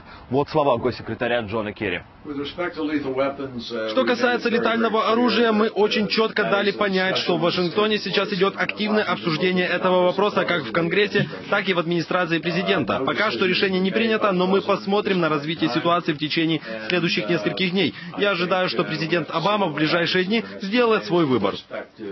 Не секрет, что команда президента расколота. Часть ближайших советников Обамы категорически против, мол, это только спровоцирует Россию. Но есть и влиятельные сторонники этой идеи. Тот же, например, командующий войсками НАТО в Европе или новый шеф Пентагона. Именно на этой неделе у американской армии наконец-то появился начальник. Это Эштон Картер. Он был выдвинут Обамой и республиканцы, у которых нынче в Конгрессе большинство, буквально клещами вытянули из него согласие на то, чтобы дать Киеву оружие и спецов. Ну, как условие, что дадут голоса за утверждение его в должности. Американский генералитет тоже принципиально за. Вот свежайший пример. Накануне экс-главнокомандующий Объединенными вооруженными силами э, НАТО в Европе генерал Уэсли Кларк сказал, что украинские войска могли бы отстоять Дебальцево, если бы у них было американское оружие. Прежде всего противотанковые системы, которые как раз и собираются поставлять из Вашингтона в Украину. А еще категоричнее выступил сенатор Джон Маккейн. Он вместе с другими конгрессменами напрямую обвинил страны Запада в бездействии. А соглашение о прекращении огня в Донбассе назвал смехотворным листком бумаги. В Вашингтоне, похоже, понимают, что промедление смерти подобно в прямом смысле. Но если Госдеп сказал несколько дней, то так оно и будет. Решение по поставкам оружия ждать осталось недолго. Дмитрий? Спасибо, коллега. Ну вот, господин президент, мы услышали с вами, что в Вашингтоне по этому поводу думают. Вы знаете, э, искренне, э, Украина очень серьезно на этой неделе обсуждала тему американского оружия. Вроде бы есть уже и соглашение, которое определенный баланс выстроило. С другой стороны, боевики пытаются его нарушить. А ваше мнение, ваш совет, э, продолжать нам просить американское оружие? Поможет ли оно Украине сдержать вот тот натиск, который есть? Ну, естественно, это а, вопрос двухсторонних отношений. И а, он зыждется на главной истине, что любая, любая страна имеет право защищать себя, имеет право защищать свою территориальную целостность, имеет право защищать свои национальные интересы. Однако, когда мы думаем о будущем, э, мы думаем о мире, мы думаем о том, э, как эффективно прекратить кровопролитие, как эффективно достичь договоренности и ресурсы к достижению этих договоренностей, они очень-очень значимы. И здесь мы, естественно, надеемся и на поддержку э, американской стороны и европейской стороны и всего мирового сообщества. Потому что те вопросы, которые мы сейчас э, видим, и мы все направлены на то, чтобы прекратить кровопролитие, это кровопролитие э, результат политики по отношению э, к, соседям, к соседям России. Это кровопролитие было в 90-х и в Грузии, это кровопролитие было и в 2008 Мы потом видели, что это продолжается уже и в Украине. И ответ на политику агрессии по отношению к добрососедским странам э, со стороны наших партнеров должен быть э, направлен на глобальное решение Э, отношений России э, по отношению э, к ближнему зарубежью. Потому что то, что мы слышим постоянно, это отношение к привилегированным зонам интересов, зонам, то есть нас называют зоной интерес, привилегированных интересов России, когда мы независимые государства, мы государства, которые имеем право строить международные отношения по основе международного права. Вы тоже чувствуете, что по-прежнему считают вот как бы нас зоной влияния и считают, что вот возможно это влияние? Я, к сожалению, вижу, что влияние возможно только через военный, военный путь. И это уже не влияние. Но э, свободный выбор наших стран, свободный выбор наших народов, он должен основываться на добрососедстве. И подкреплять это добрососедство, и строить реально политику а, э, с нами и по отношению к России должны наши партнеры. И мы, к сожалению, видим, что 2008 год не был таким большим уроком для международного к сообщества. никого ничему не научил. Потому да. что если бы был правильный, очень принципиальный и, главное, растянутый время, во времени процесс, начиная с 2008 года, я уверен, мы не имели бы 2014 года э, в Украине. И это очень значимо. Нельзя прекращать, э, нельзя прекращать прессинг, когда мы, мы говорим о международном праве, мы говорим о праве суверенных государств. Господин президент, я э, напомню зрителям, у нас президент Грузии Георгий Маргвелашвили в студии. Я не могу вас еще об одном не спросить. Мы с вами практически уже побратимы, потому что украинское правительство возглавили очень много грузин. Фамилии на слуху, фамилии известны. Есть определенная дискуссия, что э, те ли люди в правительстве, не все их восприняли, кто-то в восторге, кто-то нет. Вы этих людей во многом знаете просто как соотечественников, как с теми, с кем вы там за руку здоровались, общались. Что вы можете о них сказать? Насколько правильные люди сейчас в украинском правительстве, ваши соотечественники? Ну, во-первых, я хочу подтвердить э, свое уважение суверенному правительству Украины, которое избрано через э, демократические выборы, и э, правительство в Украине формируется на основе желаний и чаяний украинского народа. А, поэтому это, это первый, первый момент. Во-вторых, я хочу еще раз подтвердить вашим телезрителям и вам, что любой грузин считает в, в неком смысле своим долгом быть полезным Украине и служить Украине, так как у нас есть стратегические интересы и общее видение будущего. И мы, правда, побратимы. А, каких кандидатур избирает а, легитимное украинское правительство из вот столько желающих грузин, это решение а, украинцев. И э, я не думаю, что я должен комментировать уже конкретные назначения и конкретных деятелей. Это внутренние дела Украины. По крайней мере, я вас правильно услышал, что эти назначения определенные э, компромиссные фигуры, определенные спорные фигуры, э, они не испортили отношения между нашими странами испортить отношения между двумя братскими странами очень трудно.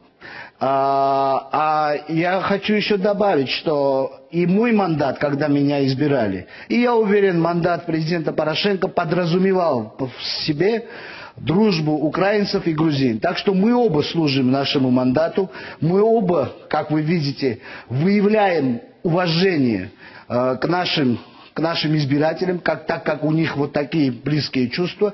Так что испортить эти отношения шериховатости не могут, я уверен. Спасибо большое. Самые главные слова, которые вы нам сказали. Я знаю, что вам улетать, не могу больше задерживать в студии. Был рад вас видеть здесь. Огромное спасибо, было приятно. Всего доброго. И самая громкая интрига недели. Миротворцы. Это идея президента пригласить их в Украину. Главный вопрос, поможет ли это установить мир в стране и как это организовать, организовать практически. Так вот, наш корреспондент Роман Бочкала видел, как работали украинские миротворцы в разных странах. И вот, злобная ирония, теперь они нужны в Украине. Давайте посмотрим.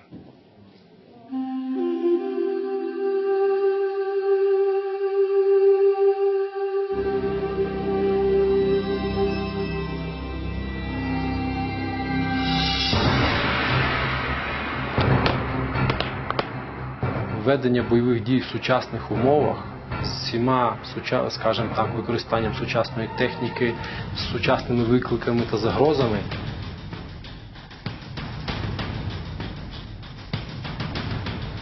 Робот бачить дроти. Є мінометна міна.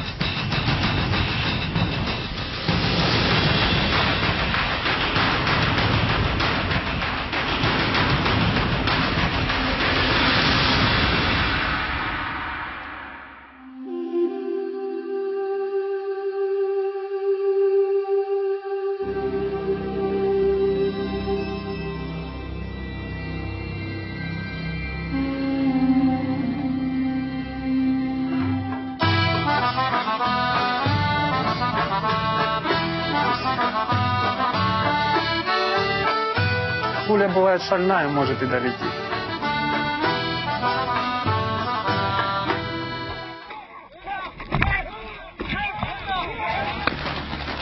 Внимание всем сменам. Нападение на базу со стороны Юлекса. ЮРФ отбить нападение, остальным занять периметр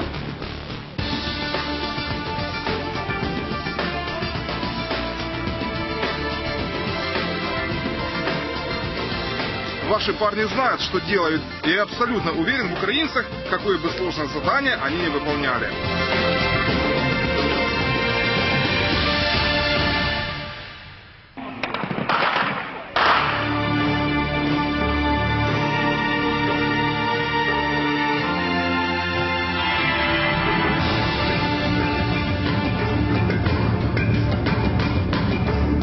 Можно даже рваться, потому что все-таки земляки.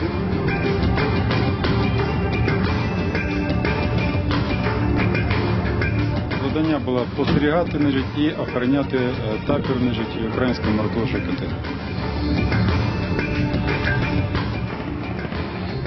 Сложность. Ну, это люди военные, мы должны ко всему быть готовы. Я так считаю, так. Не зря мы присягу давали, наверное, срочно.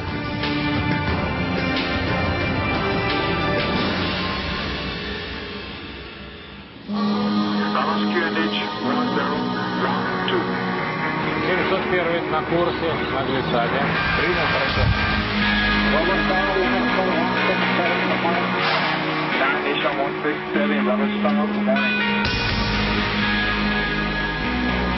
Транспортування грузів, вантажу, перевезення військ, перевезення наземних патрулів і забезпечення патрулювання вздовж державного кордону з Кодівару.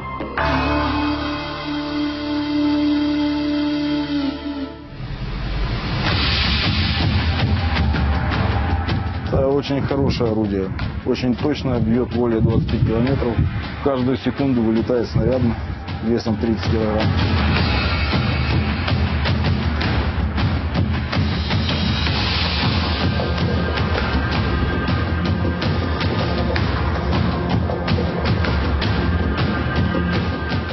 Вони діють не тільки е, в Ладанській затоці, але можуть діяти і в Червоному морі такі випадки були. І діють саме головне на акваторії Індійського океану.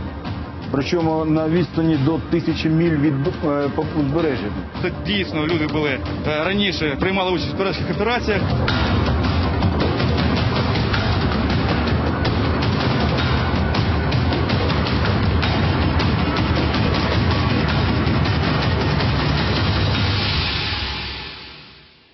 Продолжаем с нами на связи. Прямо сейчас Сергей Грабский, человек, который объединяет наших ребят, участников миротворческих миссий. Вечер добрый. Добрый вечер. У меня несколько вопросов к вам, вопросов очень важных, очень актуальных, тех, что обсуждались всю эту неделю. Во-первых, вот мы видели только что эти кадры. Рома Бочкала, наш военный корреспондент, снимал их лично, говорил с нашими ребятами, которые служат в разных горячих точках, наши миротворцы. Многие говорят, а наверняка стоит отозвать их в Украину для того, чтобы их опыт использовать здесь. Что бы вы сказали, ваше мнение? Вы знаете, э, я хотел в первую очередь сказать, что действительно опыт миротворцев, опыт ребят, которые прошли горячие точки, безусловно ценен и важен. Но отзывать те небольшие подразделения, те группы, которые сейчас находятся, насколько они сейчас смогут помочь нашей стране, я имею большие сомнения. Плюс нужно еще брать во внимание очень важные политические, экономические аспекты и обязательства Украины, которые она на себя взяла. То есть, если Украина нарушит свои обязательства перед ООН, это может негативно на самой стране сказаться? Вы об этом? В том числе, в том числе. А что до опыта, так через миротворческие миссии в общей сложности прошло больше 50 тысяч человек, и поверьте мне, их опыт уже работает на защиту и оборону нашей страны, и очень успешно. Сергей, а что касается идеи президента, идеи, которая озвучена буквально в эти дни, о том, чтобы миротворческий контингент ООН был э, приглашен в Украину, Э, Вы нужно знаете, ли это стране? э, Вы знаете, на сегодняшний момент нужно э, немножко разделить это понятие, потому что, с одной стороны, мы понимаем, насколько сложна процедура привлечения миротворческого контингента в Украину. И мы прекрасно знаем, какие проблемы стоят на этом пути. В частности, необходимость принятия решения Советом Безопасности. Да вы знаете, бог с ними, с бюрократическими формальностями, простите, но вот просто ваше мнение, человек, который разбирается в этом, если бы голубые каски ООН появились вот на линии разделения, насколько это помогло бы? Это бы помогло. Это бы помогло, потому что, вы знаете, э, это позволило бы, если мы говорим о классической миротворческой операции, в первую очередь сохранить людские жизни, развести войска, противоборствующие войска на расстояние, которое исключило бы возможность использования тяжелого вооружения, и постепенно, шаг за шагом, поверьте мне, это очень э, долговременный процесс, приступить к успокаиванию, приступить к нормализации жизни. А дальше, извините, это будет зависеть только от нас, от нашей, от нашей готовности, от нашей способности показать, где жизнь лучше, у нас в Украине или где-то в другом месте. Спасибо большое, что присоединились к нам. Сергей Графский, человек, который объединяет наших ребят, участников различных миротворческих миссий.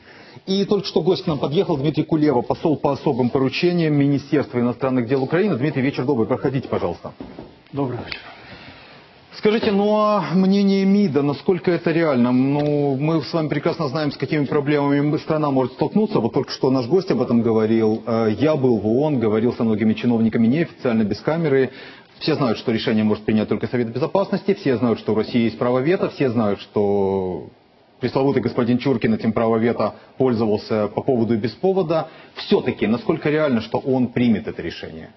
Е, це надзвичайно складно, але в нашому конфлікті взагалі немає нічого простого. У нас є деякі виклики, з якими міжнародне співтовариство реально не знає, е, що робити.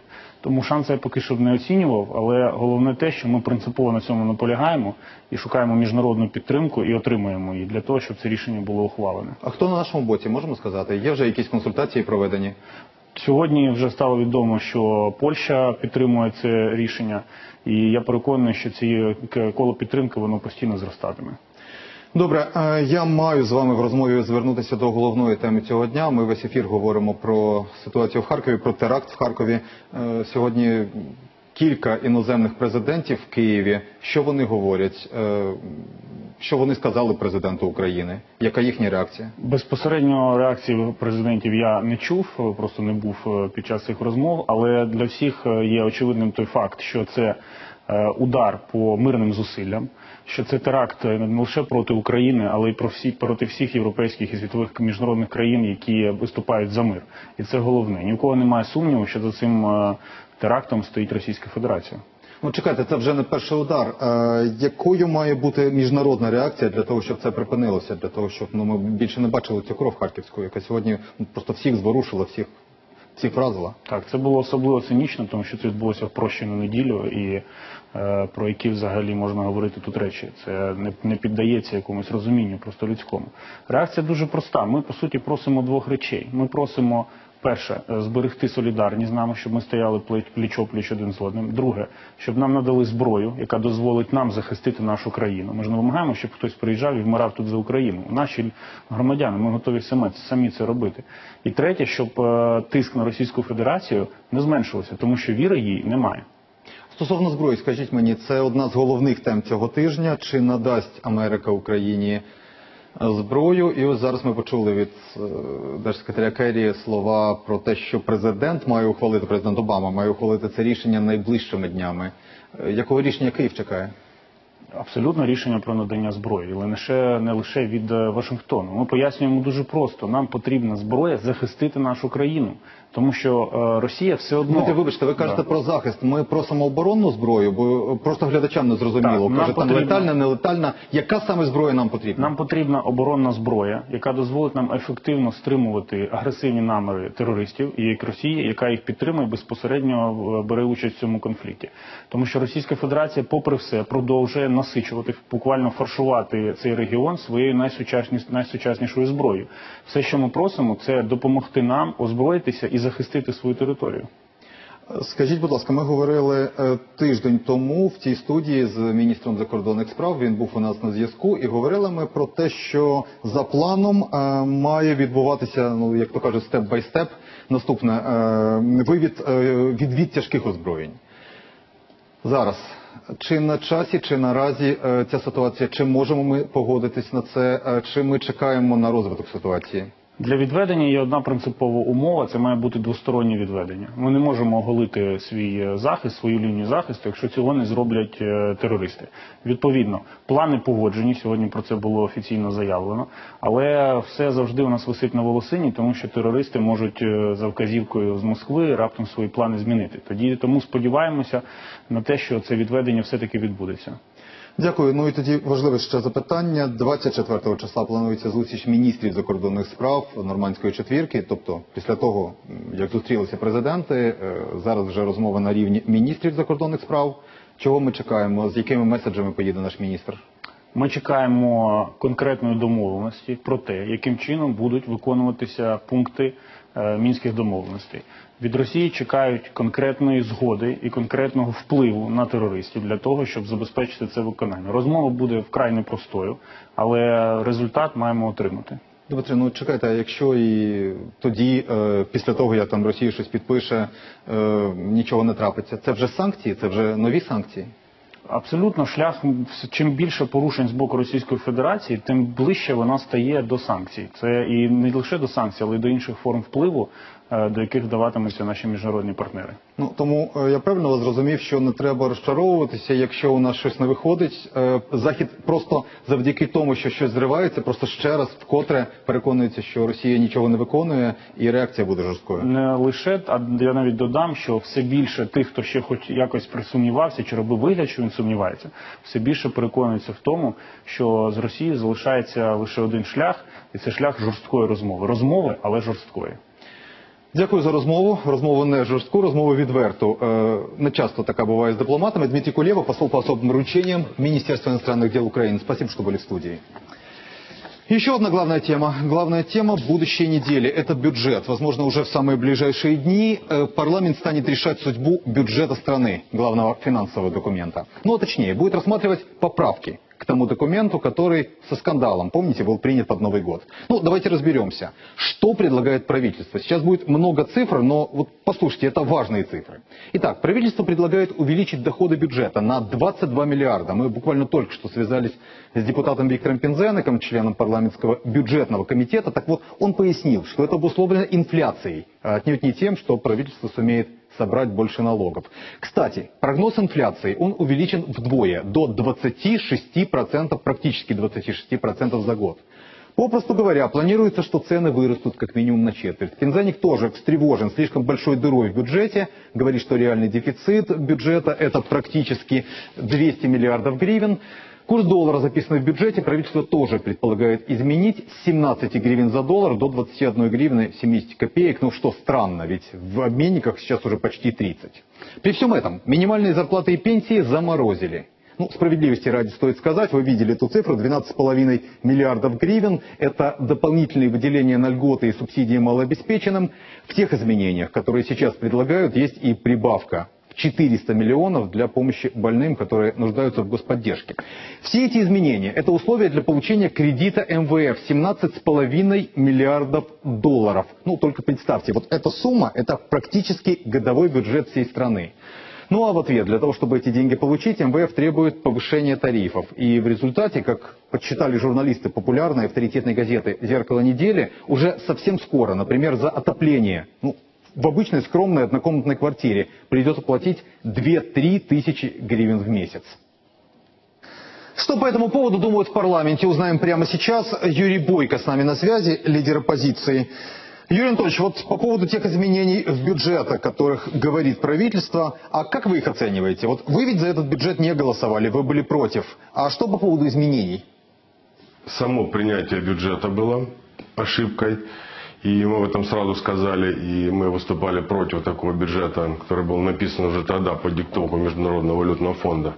А те изменения, которые сегодня пытаются провести, это как раз еще ухудшит положение людей. Потому что основная э, проблема, которая там есть для всех пенсионеров, 10 миллионов э, человек в стране, это то, что неиндексированные пенсии были в 2014 году, и точно так же до конца года не планируется индексация в 2015. При том, что инфляция 25% и в прошлом году, и в этом, рост цен соответствующий, то есть просто пенсионеров ставят за грань выживания. А вторая э, проблема – это повышение тарифов, которое сегодня анонсировано там по-разному, но уже понятно, что это будет существенно. Безусловно, вот эти два фактора, они очень серьезно ухудшают жизнь людей в стране, поэтому мы считаем, что э, такие бюджетные предложения, они в сегодняшней ситуации неприемлемы. Подождите, но у меня вот как раз по поводу повышения тарифов на газ, тепло и свет вопрос. Болезненная тема, тема обсуждаемая. Вы, как специалист по энергетике, вы можете сказать, ну а есть ли он другой выход? От повышения цен на газ для населения люди будут платить на 50 миллиардов гривен больше в стране, из которых только 12 им вернут в качестве субсидий. Остальные 37 это у них забирают, и они это оплачивают. И кто даст ответ, почему при себестоимости 400 гривен собственного газа население должно платить 3000. Куда идут остальные деньги? Газа собственной добычи всегда хватало для обеспечения потребностей населения. Это было э, на протяжении последних 10 лет. Теплокоммунэнерго централизованно уже использовали и промышленность, использовали газ импортного производства. Ну, вы же прекрасно знаете аргументы правительства. Когда придет пора голосовать за бюджет, Кабмин в очередной раз скажет, что без этого голосования, без принятия изменений к бюджету нам МВФ просто денег не даст. Мы считаем, что вообще бездумное следствие э, рекомендациям МВФ ни в одной стране мира не принесло добра.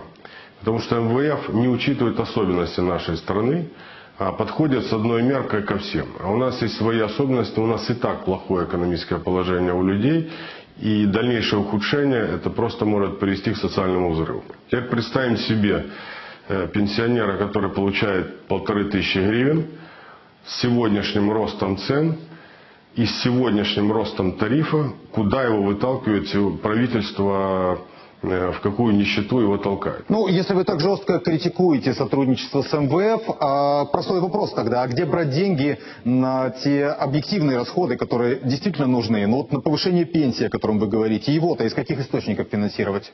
Э, дай бог у нас пойдет все к остановке воинского конфликта, и мы очень рады, что это происходит и не нужно будет тратить 35 миллиардов гривен, которые заложены в изменениях бюджет на э, расходы на войну, так вот эти 35 миллиардов гривен как раз хватит для того, чтобы провести индексацию пенсий 30 миллиардов гривен и 5 миллиардов для того, чтобы увеличить помощь переселенцам, которая сегодня получает всего лишь там 400, от 400 до 800 гривен в месяц на человека. Это, естественно, не, на такие деньги прожить сегодня нельзя.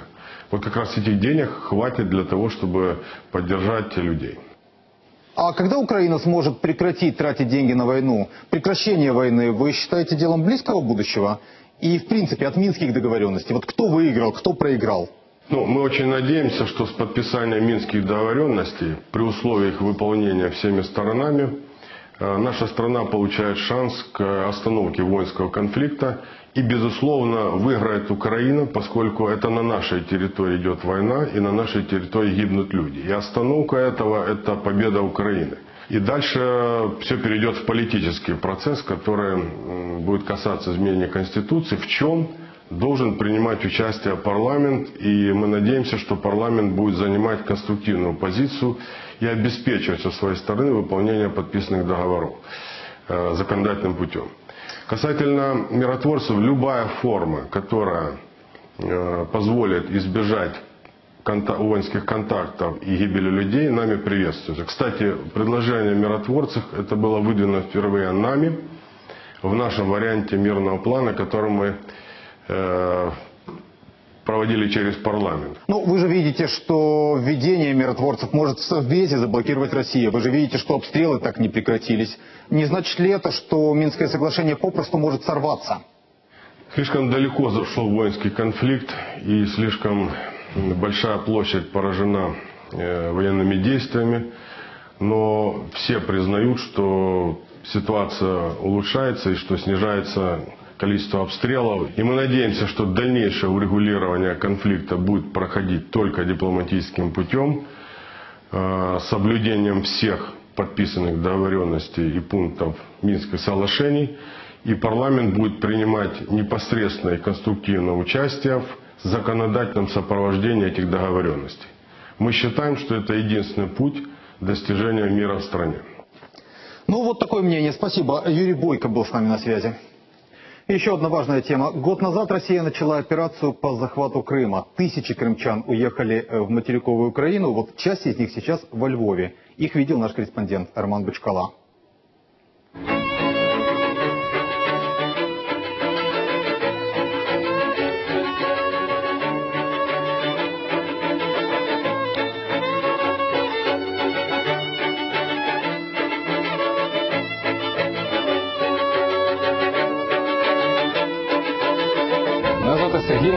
мені 21 рік. Я народився в Сімферополі в Криму, вже півроку живу у Львові. Меня зовут Ярослава Агасич, я вообще с Крыма, с Армянска. Вот, переехали мы э, во Львов полгода назад. Я Яшар Фазылов, работал одно время в школе преподавателем французского языка. Меня зовут Наталья, я из Симферополя. Я Халил Халилов. э, До этих событий жил в Крыму, в Симферополе. Занимался организацией концертов. Была своя передача на телевидении музыкальная. Был свой арт-центр в Крыму.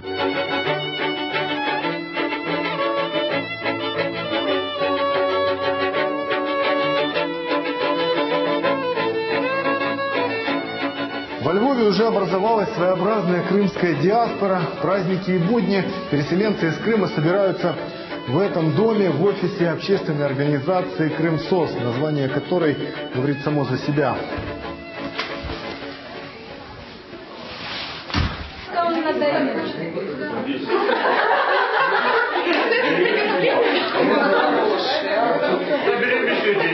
Это встреча так называемого крымского клуба. То есть мы с сентября месяца организовывали несколько встреч. Почему решили переехать? Ну, наверное, потому что Крым уже не Украина, поэтому решили переехать. Да, вдруг происходят какие-то вещи помимо моей воли, как, бы, как вот так как я не хочу, то у меня есть внутреннее сопротивление. На самом деле то, что произошло, это называется оккупацией. Я вважаю себе кримським українцем е, і вів досить е, там, ну, таку активну позицію в Криму з приводу е, окупації. Ось е, приймав участь у Кримському майдані, в кримських проукраїнських акціях, і тому просто це було б небезпечно залишатися у Криму. Мне вообще запретили заниматься концертами, связанными с крымско-татарской культурой. Меня вызвали и сказали, что большое сборище крымских татар это сейчас опасно. В Львовской области насчитывается больше 10 тысяч переселенцев. Из них порядка 30% это с автономной республики Крым. Ребенок адаптировался в эту среду почти сразу. Через три месяца мы уже говорили и по-русски, и по-украински. Единственный момент, это, конечно, у детей, они ощущают отсутствие дома. Первоначально народ селить некуда. Пиковый момент приходился нам на летние и осенние месяца, потому что люди ехали сами по себе и уже оказываясь в городе или на территории области, тогда только давали о себе знать. На сегодняшний день этот вопрос уже более усовершенствован. Ситуация печальная, честно скажем. То есть э, власть рапортует, да, что они там что-то делают, ну, но это очень, знаете, Украинский паспорт, а мне говорят, что я уже и, вроде как и не резидент страны. Такое ощущение, что уже бы и государство вроде бы сдалось. Но с другой стороны, понимаешь, это же война идет. У всего, наверное, есть какое-то свое название. Но очень обидно и неприятно, когда тебе говорят, что ты не резидент страны. Каждый день с утра сюда прихожу, часов в 10. Э, начинаю разводить огонь. Э, російський газ не використовуємо, використовуємо українські дрова. От, е, олія. Головне, щоб е, було все дуже гаряче. І казан, і олія. Е, спочатку кладу м'ясо. Наприклад, сьогодні то телятина. От. Добре прожарюю, додаю лука. Лука можна додати трохи більше. Він дає присмак, він змягчає м'ясо. Потім додаю морковки.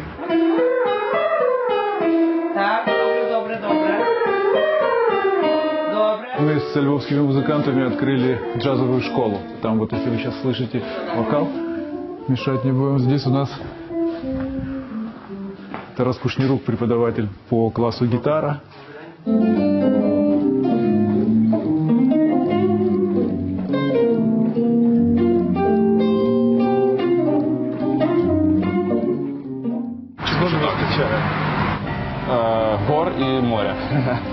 Особо любил море, я очень любил горы. Но здесь я скучаю почему-то по морю.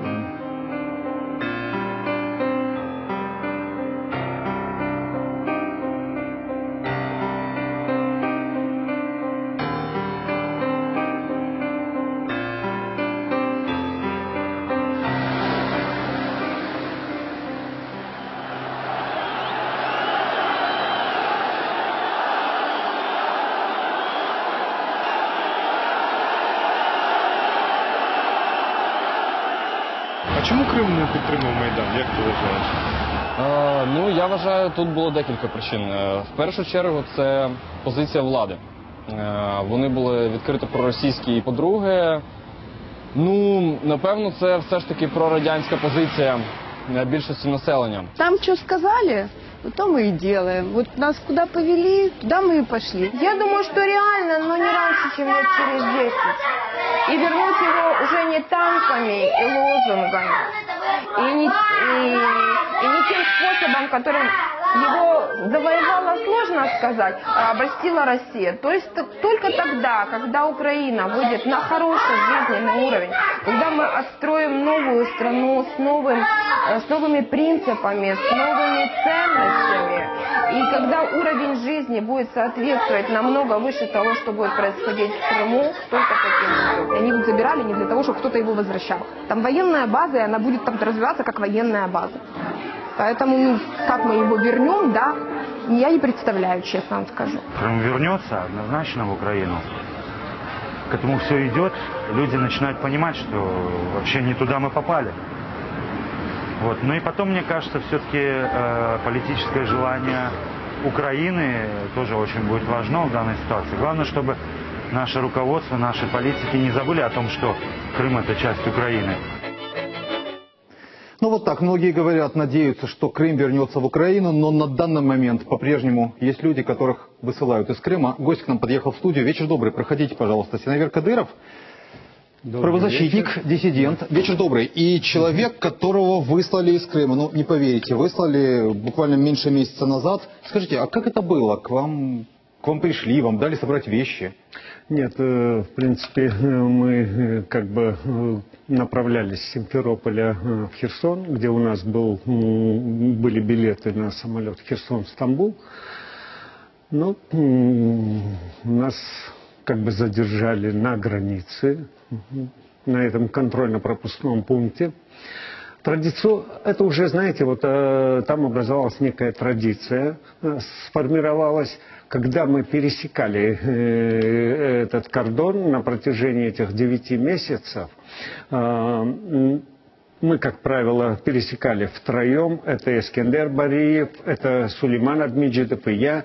А, Мы втроем сокоординаторы Комитета по защите прав крымских татар э, который э, организовали буквально в ноябре, а они, кроме этого, еще члены Меджлиса.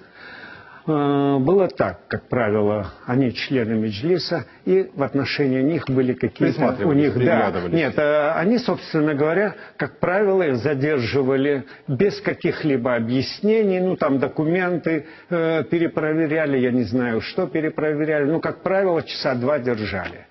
И так вот на протяжении всех этих месяцев, только э, чуть э, позже уже были, ну, не два с половиной часа, а час где-то вот так. Синавер, вы знаете, Да. мы с вашей женой записали короткое интервью. Э, Посмотрите, вот она скрывает свое лицо, она вынуждена это делать. Вот что она говорит.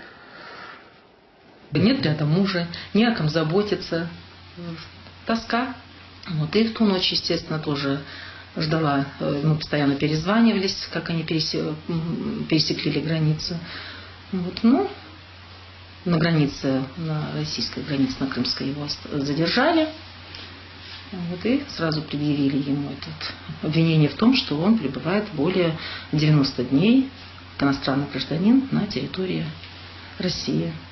Вот. Хотя, согласно законодательству России, граждане, проживающие по состоянию на 16 марта, граждане Крыма, ну, в смысле, граждане Украины, крымчане, которые проживали, да, они, э, на них это не распространялся, этот закон проживания более 90 дней на территории России. Но, тем не менее, тем не менее, его задержали, и сразу суд. Суд был скорый и, так сказать, справедливый.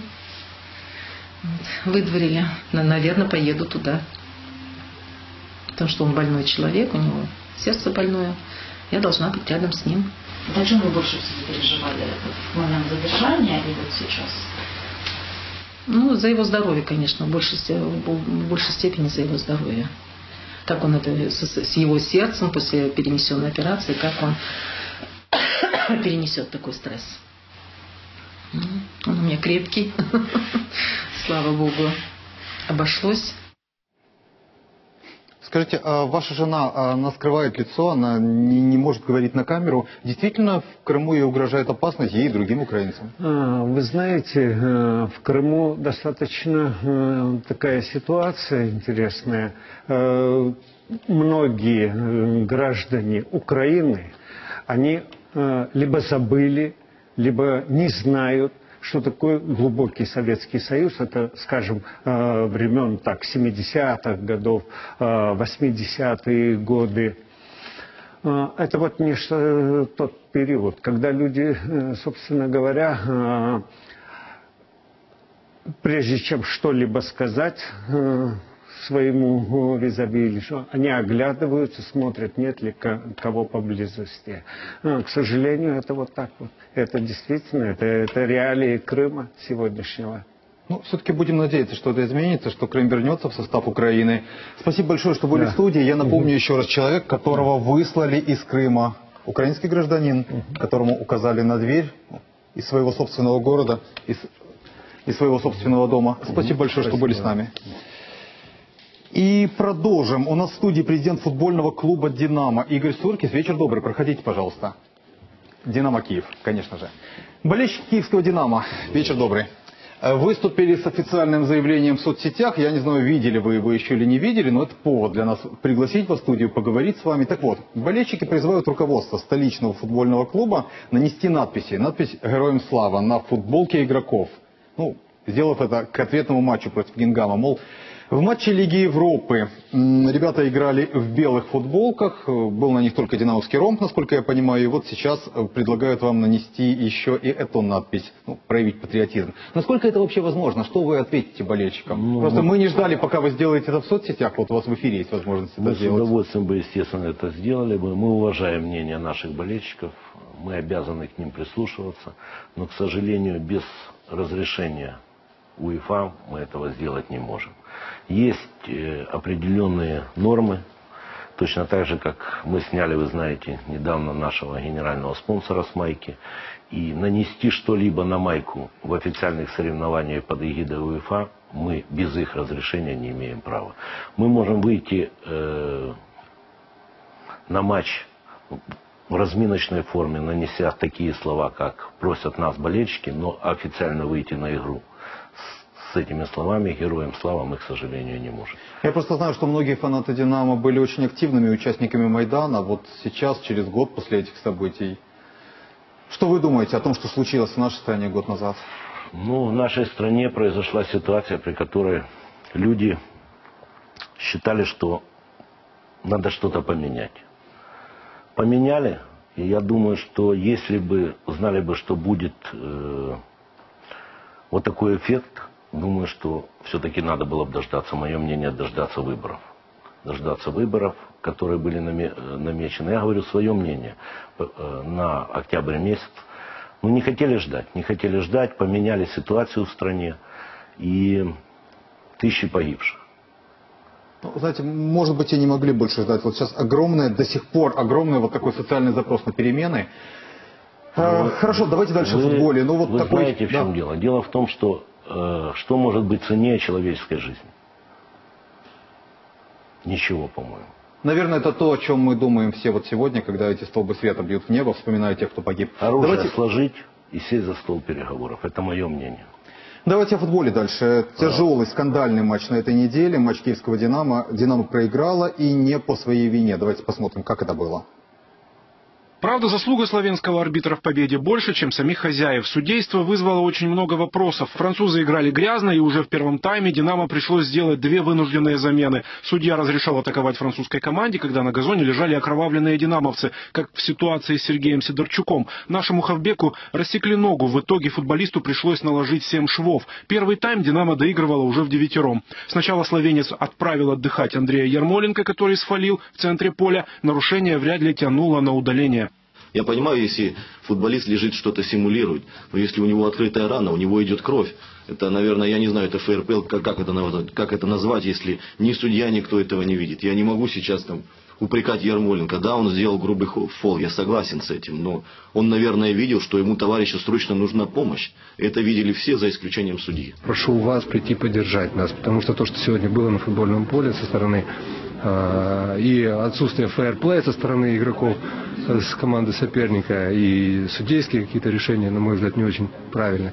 Ровно через 4 минуты в раздевалке к Андрею присоединился и марокканский легионер «Динамо» Юнес Беланда. Тоже за спорный момент. Вот так Гингам вместе с судьей победили «Динамо». Скажите, ну, каковы наши действия дальше? Наши действия выходить на футбольное поле. У меня огромная просьба к болельщикам, чтобы они поддержали команду. Мы играли девятером, мужественно сражались во втором тайме. У меня единственная просьба нашим болельщикам, преданным болельщикам, которые любят команду, чтобы они пришли на стадион и стали тем 12-м игроком, который так необходим нашей команде. И если это произойдет, я уверяю вас, в четверг будет все в порядке. Команда настроена, команда ждет этого матча с нетерпением, потому что я считаю, что та обида, которая была нанесена именно судейской бригаде команде, она не заслужена. Команда месяц готовилась, они не видели своих жен, не видели своих семей, и то, что произошло, я по, после матча сказал, что это был беспредел, но это были, может быть, слова эмоций. Знаете, как после матча бывают эмоции. Я могу сказать сегодня с полной ответственностью, это был полный беспредел. Почему? Потому что что предшествовало удалению Ермоленко? Многие эксперты говорят, что Ермоленко удалили справедливо. Может быть, если э, идет матч и игрок делает такой подкат, то его могут удалить, могут показать желтую карточку. Но что предшествовало? Предшествовало, что его товарищ в нескольких метрах от него лежал окровавленный на футбольном поле. И это видел боковой арбитр. А вы знаете, сегодня Лигу Европы судят пять арбитров. И это все видели, и ни боковой судья не дал отмашку, ни судья, который находился в центре поля. Он мог просто остановить э, матч, как это делается, оказать медицинскую помощь и матч продолжить. А противники, я не говорю, противник был заряжен своими болельщиками, которые стремились любыми путями сравнять счет. Но Ермоленко, видя эту ситуацию, что необходима помощь э, Сидорчуку, решил пойти на такой поступок мне даже его не в чем корить. Хотя это не уличный футбол, это профессиональный футбол, но мне не за что корить мою команду, которая играла достойно, стражалась весь тайм э, девятером. И я надеюсь, что ребята понимают, и я их после игры подошел, всех обнял, поддержал и сказал, в Киеве будет 12-й игрок, и мы 11 на 11 плюс наш 12-й игрок постараемся одолеть играм. Ну, огромная поддержка у вас будет, более чем уверен, всех нас. Спасибо большое, что были в студии. Ну, такими были подробности этой недели. Очень разные. Говорили мы с вами и о войне, и о политике. Встретимся ровно через неделю. Счастливо.